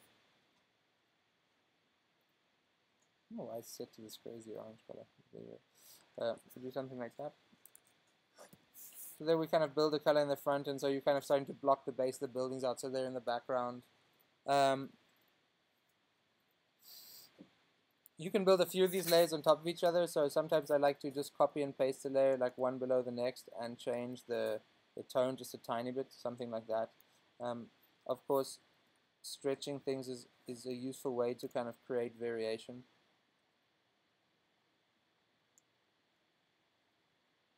Kind of pushing and pulling. That way we start to build up this kind of systematic layering here. That's what we're looking for. And you do the same in the background, I was being lazy back here, but I can do that here as well. So um, just remember if you're going to stretch things past their edge, edges like this, um, you're going to have to, you, you know, it's not going to affect, you're not going to see this in the actual final drawing. Okay, it's going to clip it to the size of the artboard. So even in this top one, if I unlock this top layer, wherever it is, this one, um, I can copy and paste in place and like stretch one of them out.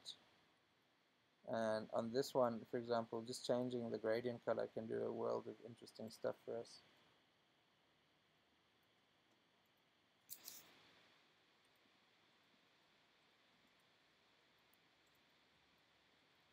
course just rearranging the layers is also super valuable so we can kind of push and pull like that So we start to build, okay, so we start to build this kind of complex scene. And what's important is that we start to take advantage of the different layers, you see? This is what gives it kind of the complexity. Without that, you, end up with kind of banal stuff. So the next layer, and actually between the city layer and the next, you know, you have an option to where you put your character. So um, I will just use this one.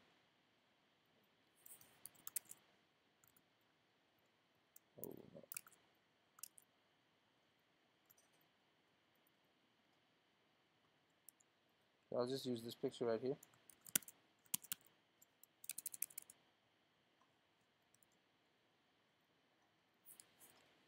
So you're gonna do this. Uh, I'm actually doing this the right way. Um,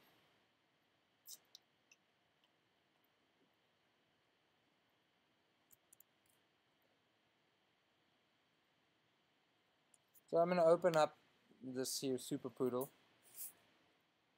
that I still have. So super poodle has a bunch of legs, has a bunch of parts, okay, and what's nice about this is that um, we can we can select these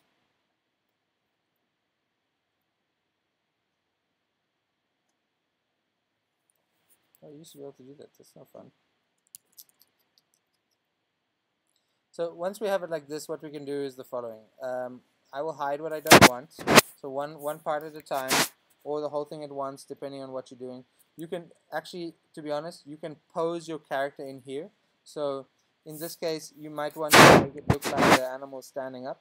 So uh, we select all of those layers and then we do this weird rotation. Oh no.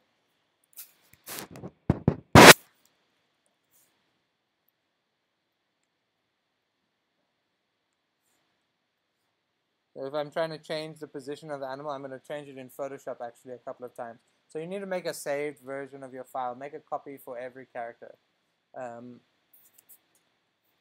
so I'll do this. I'm trying to move this front leg forward.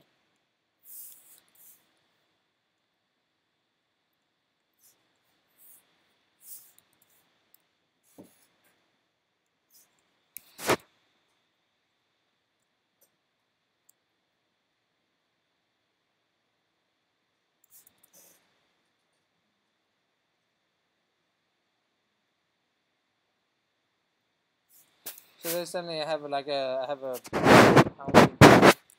okay so I've now changed the position of this. Once you've done that you can literally select the thing as it is. Um, save as a JPEG.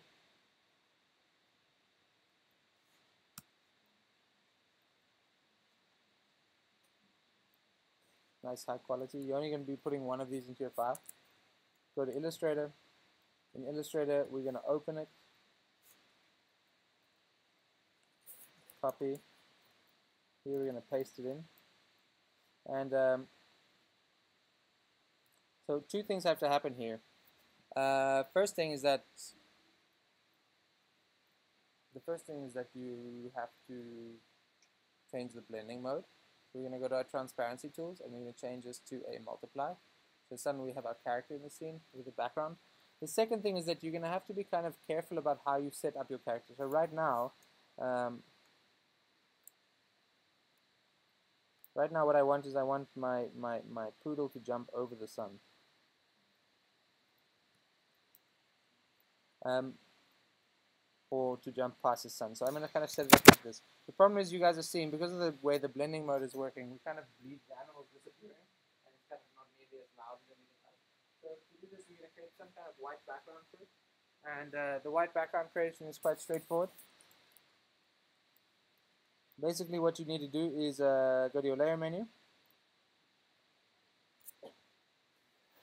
Depending on the quality of the image but they probably it will probably work for you guys generally.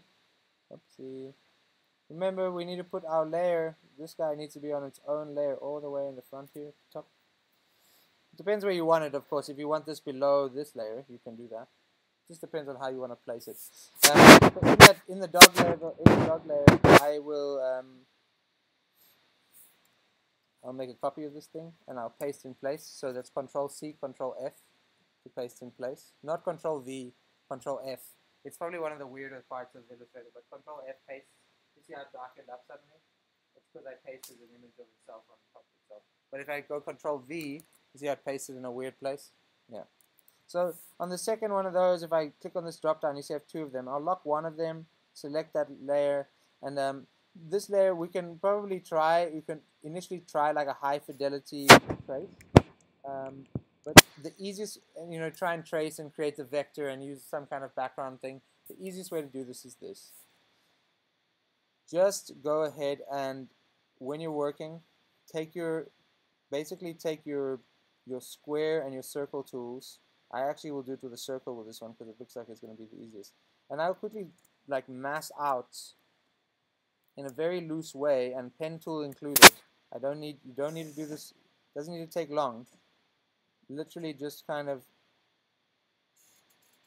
give your shape some, I don't mind if it bleeds past the edge sometimes. But basically run through this as quickly as you can. And where needed, use the circle. So in this case, um, pick up the pen again and draw this. It does not have to be conclusive, okay? I'll show you why in a second. So I've done all of that. Uh, ellipsoids, we create the rest of these circles. I'm holding Alt and Shift at the same time to create a circle from where I click. Okay, so you see what I'm doing, right? I'm building the whole, you're going to do the whole animal this way. Then what you do is you use our basic tools again, select all of these. Lock that as well. Just drag select all of that, make sure this top layer is locked and everything else is locked. So I have only those, we union them together, so we get one continuous shape, right? We make the background white. We make it so that there's no outline stroke. We go to our layer menu and we take it below the layers. We start to kind of separate it and pull it forward. Um, we don't actually need two of these. I just put two in there so you could see what was cooking. And uh, now we will select everything on this layer and we will move it down just so you can see the effect of the, the kind of cutout operation. So that way we get some stuff that sticks past. I mean, I'm doing it quickly, but I think you could be a little bit more careful about this, like in moments like this, kind of run up through here so you get some of the details. It doesn't have to be too crazy. So that kind of sets up a background for you. And uh, if everything's turned on, we can kind of start to reveal the drawing in front of the objects. So this thing's going to be this very strange, surreal walking thing through here. Of course, I think right now what's happening is like my color scheme is not exactly the way I want it.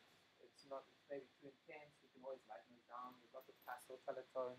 I mean, this is where you guys as, as illustrators and artists really have to take control. Like you decide how to blend strange vector operators with this very kind of intense graphic. But this thing's very heavy, right? It's loud. And so you kind of have to work out how to blend them together. Be careful how you cut out that background shape, I think it can it can really help determine the way your thing reads in space. And it doesn't have to be white; it could be a different color as well, as long as your draw your painting drawing reads quite nicely. It's also not 100% necessary, because I also think that this is not the worst. Um, I can also see this working if you do it the right way. Some of you might like, like I was just thinking about the the buffalo, right, or the bison inside the bison, you can just fill like parts of the body cavity white and other parts you can leave transparent because like maybe you want the horns to be transparent and have like a blood red color, but you want the body to be solid. Exactly. Yeah, it's not well. These are technically not either the way they're solid, but I imagine you've cut your shapes out actually. In yeah, so that you you'll have a much easier time here than this. I'm I'm dealing with a very bad file that was made in the very beginning, right? It's a nice drawing, but it's just it's not something like the way I asked you guys. But if it's if it's set up, if this thing is set up the right way, like we've been talking about for the last few weeks, it should be really straightforward in here, just like nice cutouts, and you can actually like select the shape in in Photoshop. Um, all right, so that's the character. We're now going to do two more layers of foreground. So we've got these, um, and then there's actually once we've got those layers up here, uh, we're going to go layer 8. So there's two more layers basically. Um, there's going to be a very front foreground layer.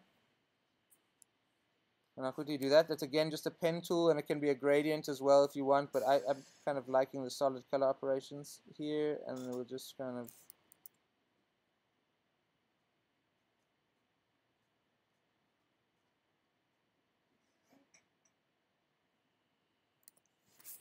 something like that and uh, I will do another color. So I'm kind of building layer up, and then on this last layer, I do not like that handle right there. So on that last layer right there, um, again I will select this and make a copy selection and change some colors here.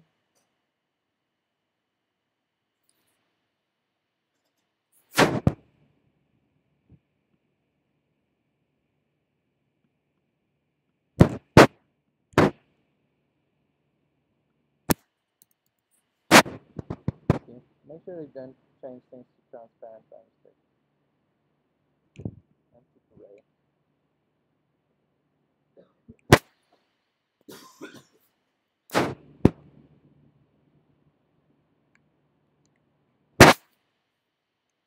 So we can build a few more layers here. Um,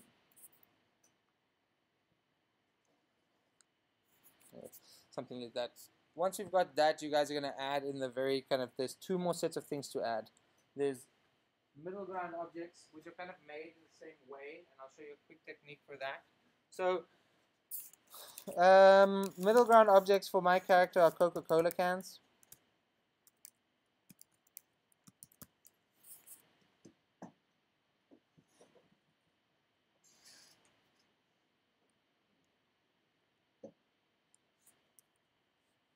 So to capture those middle ground objects, we're going to open the Coca-Cola can, and we're going to do this is a very straightforward operation. Select the object, run the image trace, and I'd like you to run it with a three color setting, okay?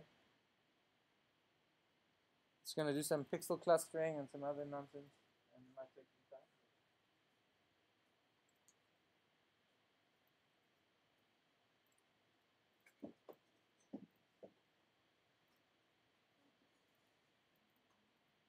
Yeah, I think look, I think the one thing that's going on now, a lot of you guys are probably thinking about like my color scheme that I have on the screen. But like I'm hoping that you guys own this yourself and you change the colors and you can look at there's lots of ways to deal with you know, think of those like pink and yellow LA sunset colors. How many of you guys have played seen GTA five or any of the GTA games? You remember that? You know some of those sketches they had, the like kind of line art sketches they had for the opening scenes. So these weird, like purple and pink and green things. I'll, I'll show them to you. So this now, the way this exists, you'll see that this has gone from a a, a, a, a raster drawing to a vector drawing when I hit the, the, the trace or the image trace. When I hit expand, I get all my shapes. And so this is just literally these shapes ex exactly as they are like this these three these three color fidelity uh, drawings we're going to bring those in here um, see you need to you need to ungroup it and you need to delete the background okay so it's just the shape like that ungroup and delete the background copy bring it in here and uh, scale it down so here, for this middle ground thing, let's make sure it's on the right layer. It's up here on layer 8. Um,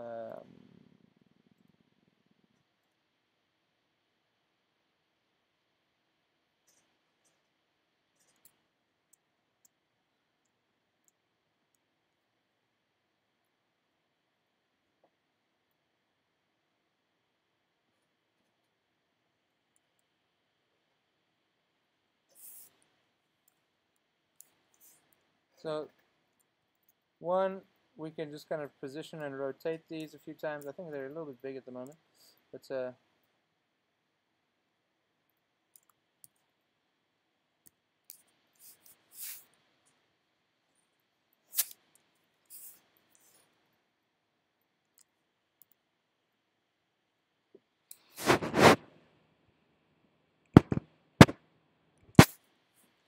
So we can kind of use these to create these kind of middle ground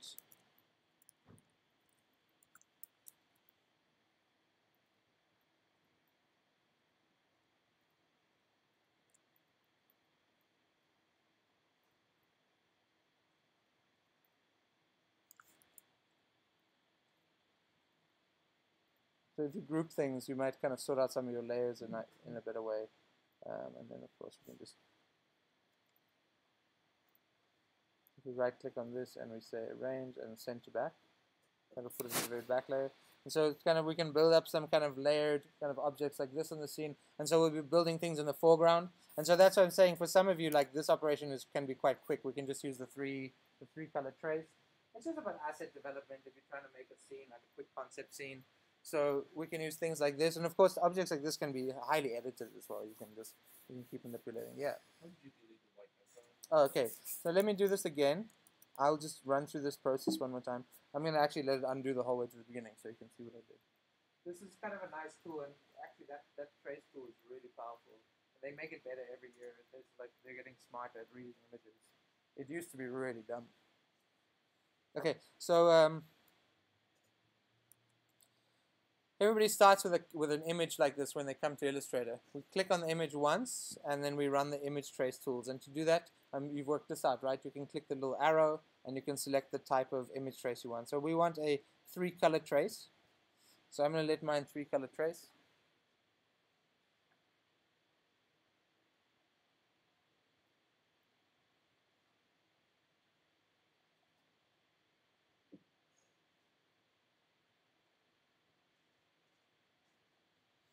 So you'll see now I have this kind of more graphic thing. So now when I click on it, it's just clicking like one object. So you need to first hit expand at the top of the page. It says expand up there. Click expand. That kind of it blows it up. And then you need to right click on it and say ungroup.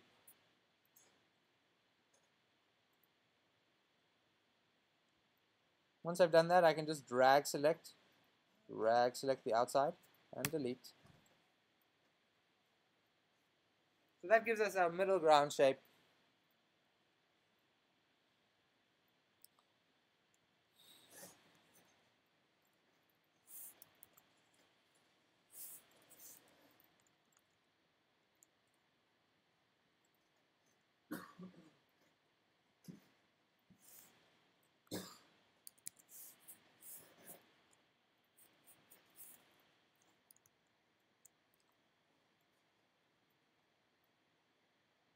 So we can kind of build a middle ground, foreground, background here. And then the last thing you'll be doing is building this very front layer. So this thing is looking really crazy right now. Kind of like it. Um, we're going to be building the very foreground. And so the very foreground is very straightforward. Um, to create the foreground, you'll be doing this. I'm going to get something simple like a, a, uh, a faucet.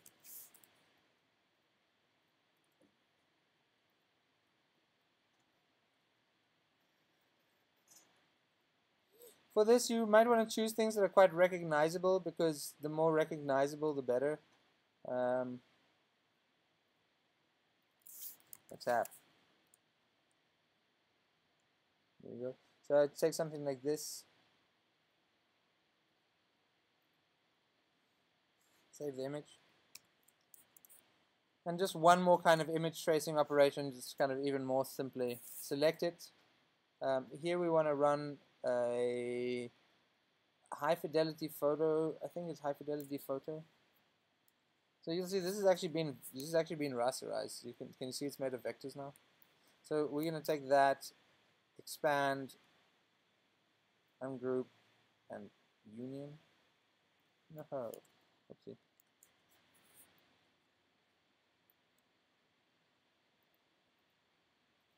So we can kind of get a quick outline of the shape that way. This is just a very quick, nasty way of getting outlines. Okay, there's much cleaner way of doing this. Then, okay, so there's this way. I'll do that one more time. I think we could do it. We could do it in an even better way, just even lighter. So the one thing I'm doing here that's stupid is I'm using, um, I'm using this really high-end, high-fidelity photo settings. But I actually think if we just use a three-color trace as well, like that, it's going to be cleaner actually. So use three color trace for this one as well. Expand it, ungroup it, delete the background, select it, and union it. And you should get, that's actually way better. It's just it's getting less noise out of the image. So you're going to select these, copy them, and come to your scene, and you're going to paste them in here. Okay, they're really big right now. Um, and they need to be in some kind of contrast to the to the the thing they're on. So I'm just gonna make them black for now. And I'm gonna put them we clearly need one more layer layer 10 and I'm gonna put them on layer 10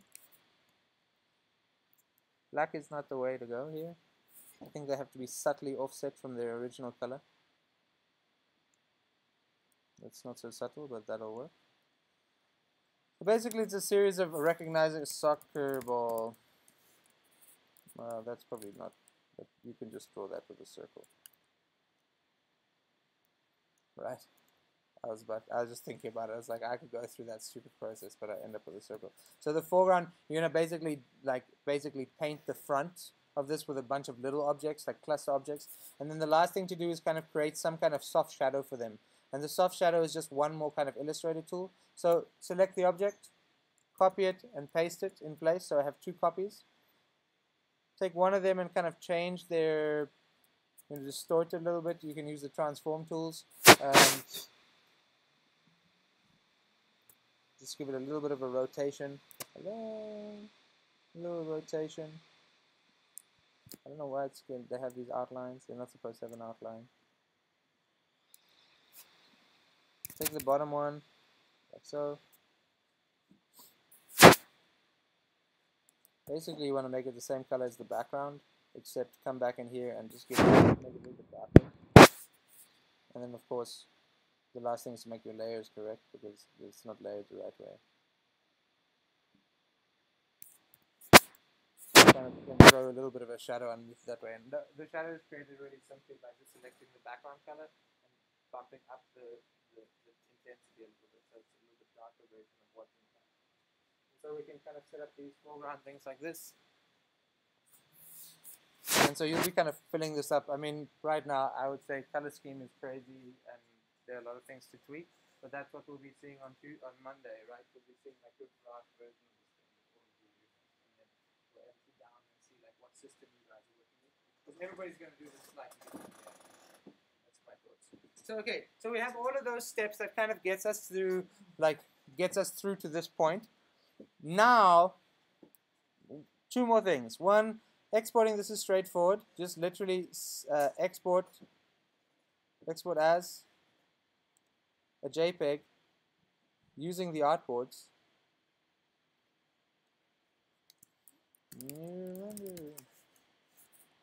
Really high quality, okay? That's okay. Oh, no, no, no, no. Sorry, I made a mistake there. Export, export as JPEG, that's right. Artboard, that's right. And so here, the only thing I've done, uh, uh, made a mistake is that, I don't know why this is at 600, but we can just set it to high, le high level 300, press OK.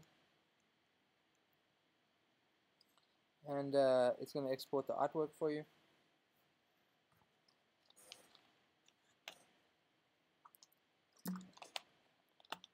These are big Illustrator files, by the way. Like they're quite sizable. I mean, just physically big, and also they they make big JPEGs. And the higher that resolution set is, the better, I mean, generally. So now we can look at your new render. So that's a huge JPEG, it's like a 50 meg JPEG, but it's because it's a really, really big picture. and it's mainly to do with this layer, this like compound thing in the background.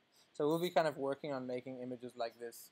Um, remember to like think about how you can hide what's behind the Coca-Cola stuff sometimes, like here I think this transparency is not ideal. I think I showed you this before. Uh, what is that thing? I showed you these before, right? So this is kind of where I'm thinking.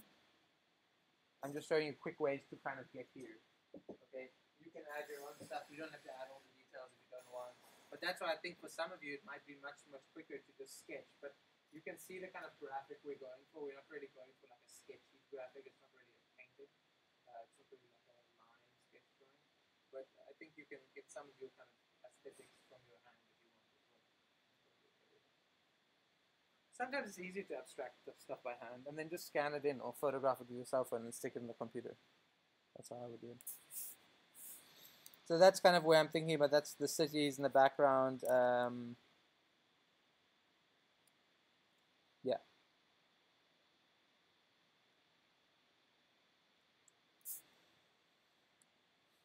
What else? I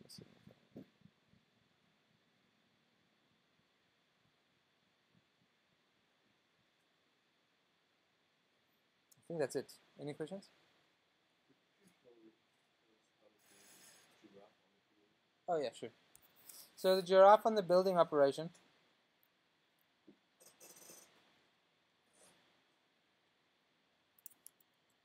Okay, so what I have, I'm going to move these out the way. Okay, so I have giraffe on building, right? Here. The tool that you need to have available to you. Do you guys know how to create the building? You know about the Pathfinder tool, right?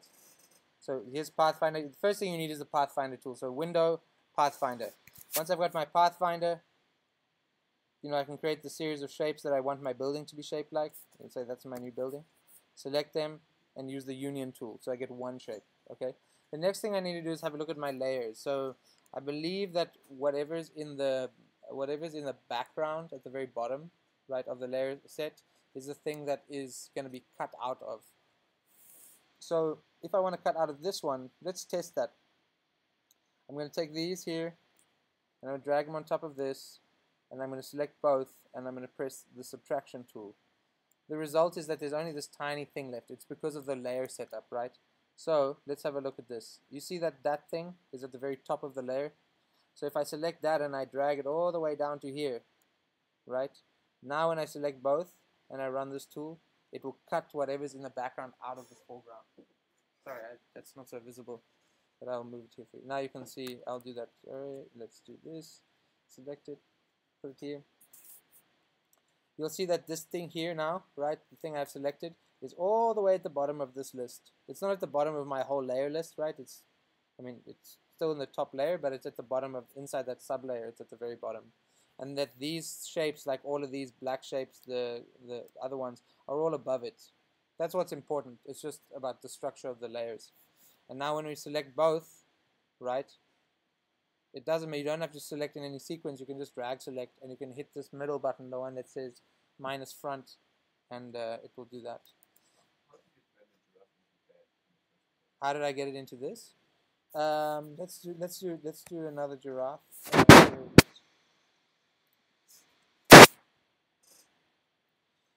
So I have my giraffe in this kind of JPEG state, right? Um, and I know that when I select a JPEG, Illustrator allows me to trace the JPEG in some way, right? We've done some of the image traces already. So I'm using this image trace setting.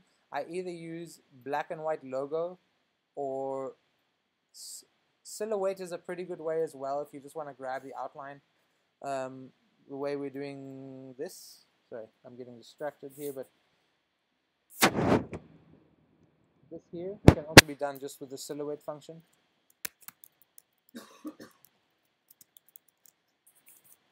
So from here, you can just go here and grab silhouette super fast.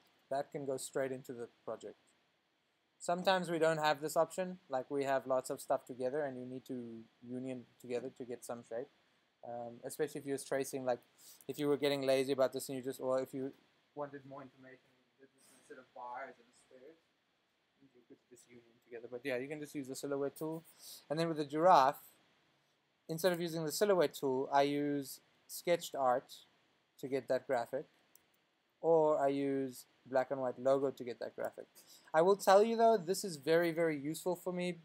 This is working very nicely for me because the giraffe inherently is contrasted, right? There's a black and white system at play. Like this piece is going to be separate from this piece because of that white line. It's just what it is. So it's tracing kind of based on the color tones. Um, and so that's why I'm able to get that so quickly. And then once I've done that, I'll run the, here, I'll quickly do that for you. I'll do a black and white logo, expand it, right click on it, ungroup it. Same process. Select the background, delete it. Then I can just copy this. And I can take it to my skyline thing here somewhere. Paste it in.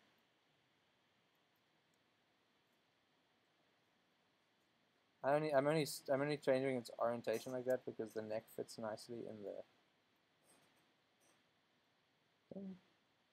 Select both, right click, select both. Yeah. Building. A lot of tools, very fast, very intensely in one morning. So I understand if some of you missed some things. That's why the video of the entire class is recorded and uploaded, so you can do my homework exactly what you okay. And I fully recognize that it's a loose process and that some of you will come with like specific aesthetics and others of you will be kind of testing things. Doesn't mean that you should do it badly. It just means that you should don't expect to have identical stuff. I think some of you may be thinking, hey, you know, our patent drawings were all the same, like very aesthetically similar, but then when we do this, it's very different. I think that's fine. It's okay. We need to kind of depart from one another. Any more questions for process things that I'll just hold this up here? Are there things you see on the screen that you don't know how to do?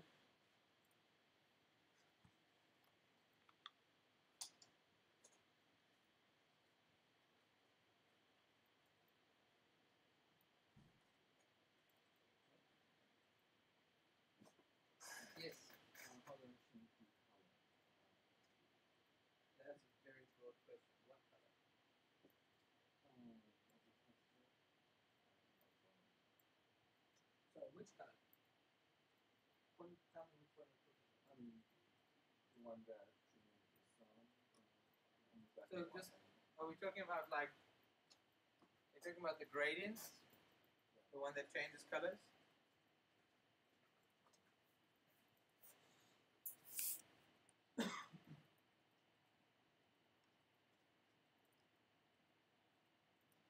Are you talking about this one?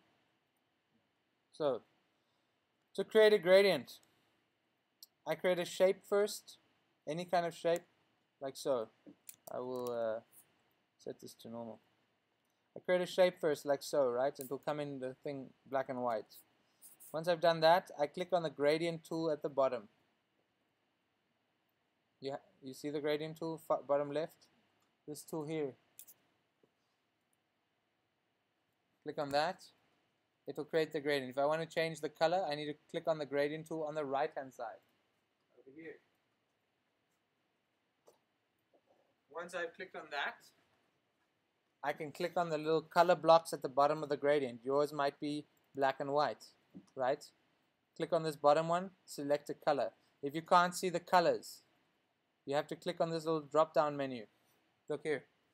If you can't see the colors section like I have, you click on this little drop down menu here, and you need to go to CMYK, and then you will have colors. I don't know why they hide stuff like that in Illustrator. It's like literally designed to be hidden. I don't know why, but it, that's how it feels. What is it not? It's not working like the minus front in the building. I'll try to look now.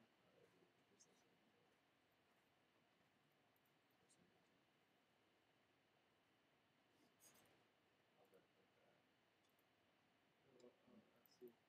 So your image trace, you first need to expand it, right? And then you right click and ungroup it, right? But now it's now it's now it's work. The only thing is that this guy has to be at the very bottom. Make sense? You have to expand first and then ungroup.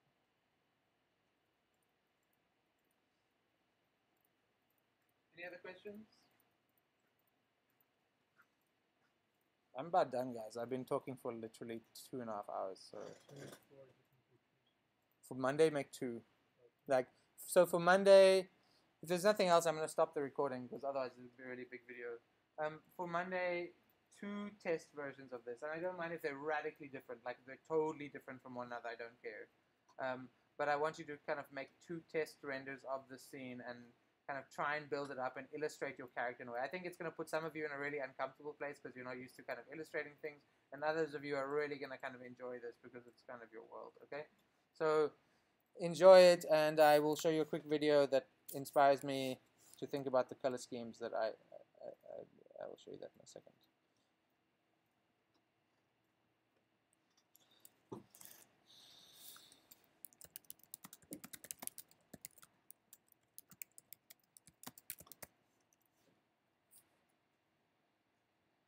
So this is kind of where this all started for for I mean this is one of the very first videos that we're taking advantage of Illustrator illustration techniques. I don't know if you uh, know who Queens of the Stone Age are. Maybe we should close the door.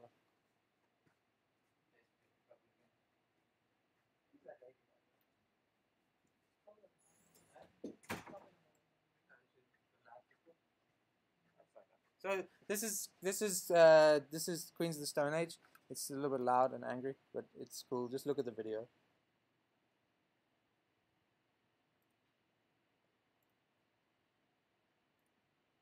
Oh.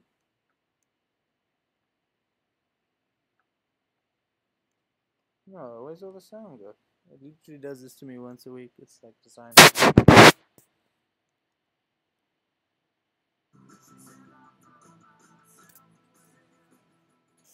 So I think that the video is really nicely made and it's taking advantage of simple vector graphics the whole time. Um, and it's just like these dumb image traces over and over again. And when I was younger, I was watching this and thinking like, oh, how they do that? And now that I can use Illustrator, it feels really stupid. So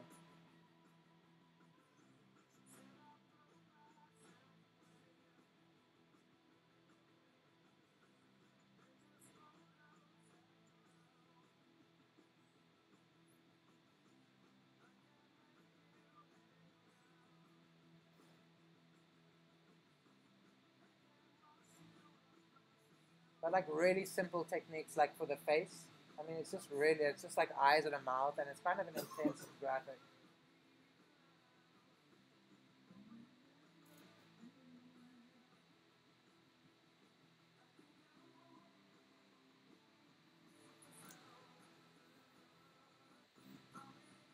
Um, yeah, so I think there's there's a place at the end. Yeah, it's here somewhere. Not here. So it's just like simple, simple graphics like that are being used, 2Ds, color tones, and contrasts. Nothing more. It's you know you're not like. And this is why I was thinking about the background.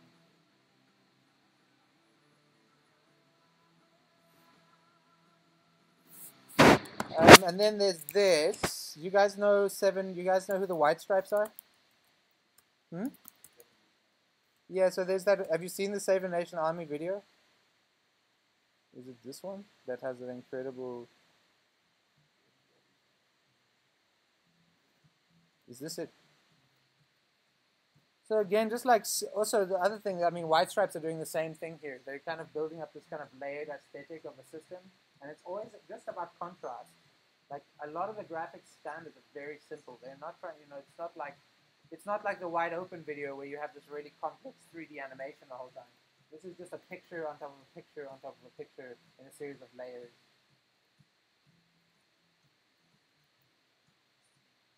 Yeah. So, but I mean, just this alone, like the white on black on red on black, it's just a simple sequencing technique to get you to like focus on something, right? I got one really good video. It's called Woof, which is. It- wolf or woof, like that. This one.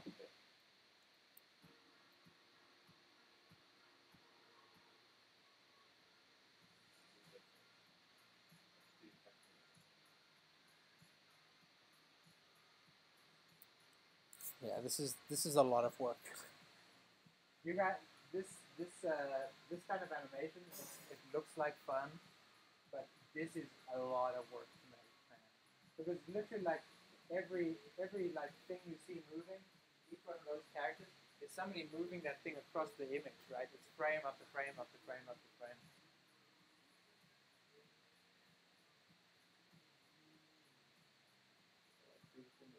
You see how the simple contrast kind of works? It's kind of smart.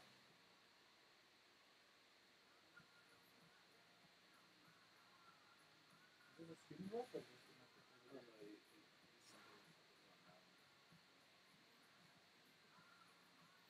Yeah, I think I mean just in general, like like contrast operations are really powerful, and that's kind of what this thing is getting at. It's like how we can block things and reveal things, and a lot of this is just to do with layering.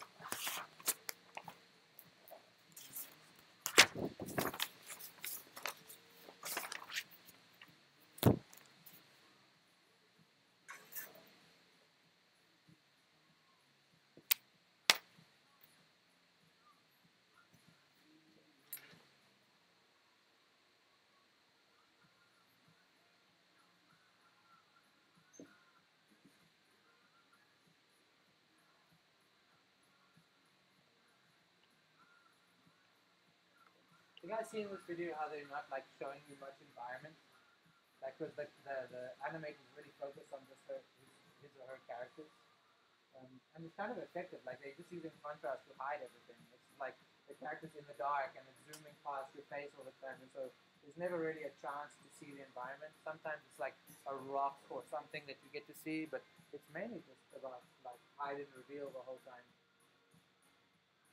Like look at this, I mean the environment are just streaks in the air. But we know that we're in the air. Okay folks.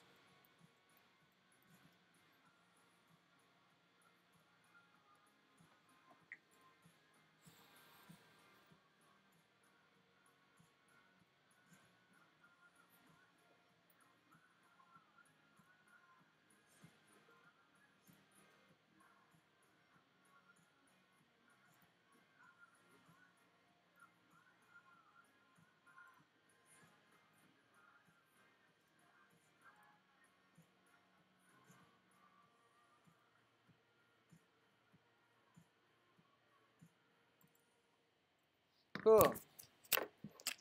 Very nice.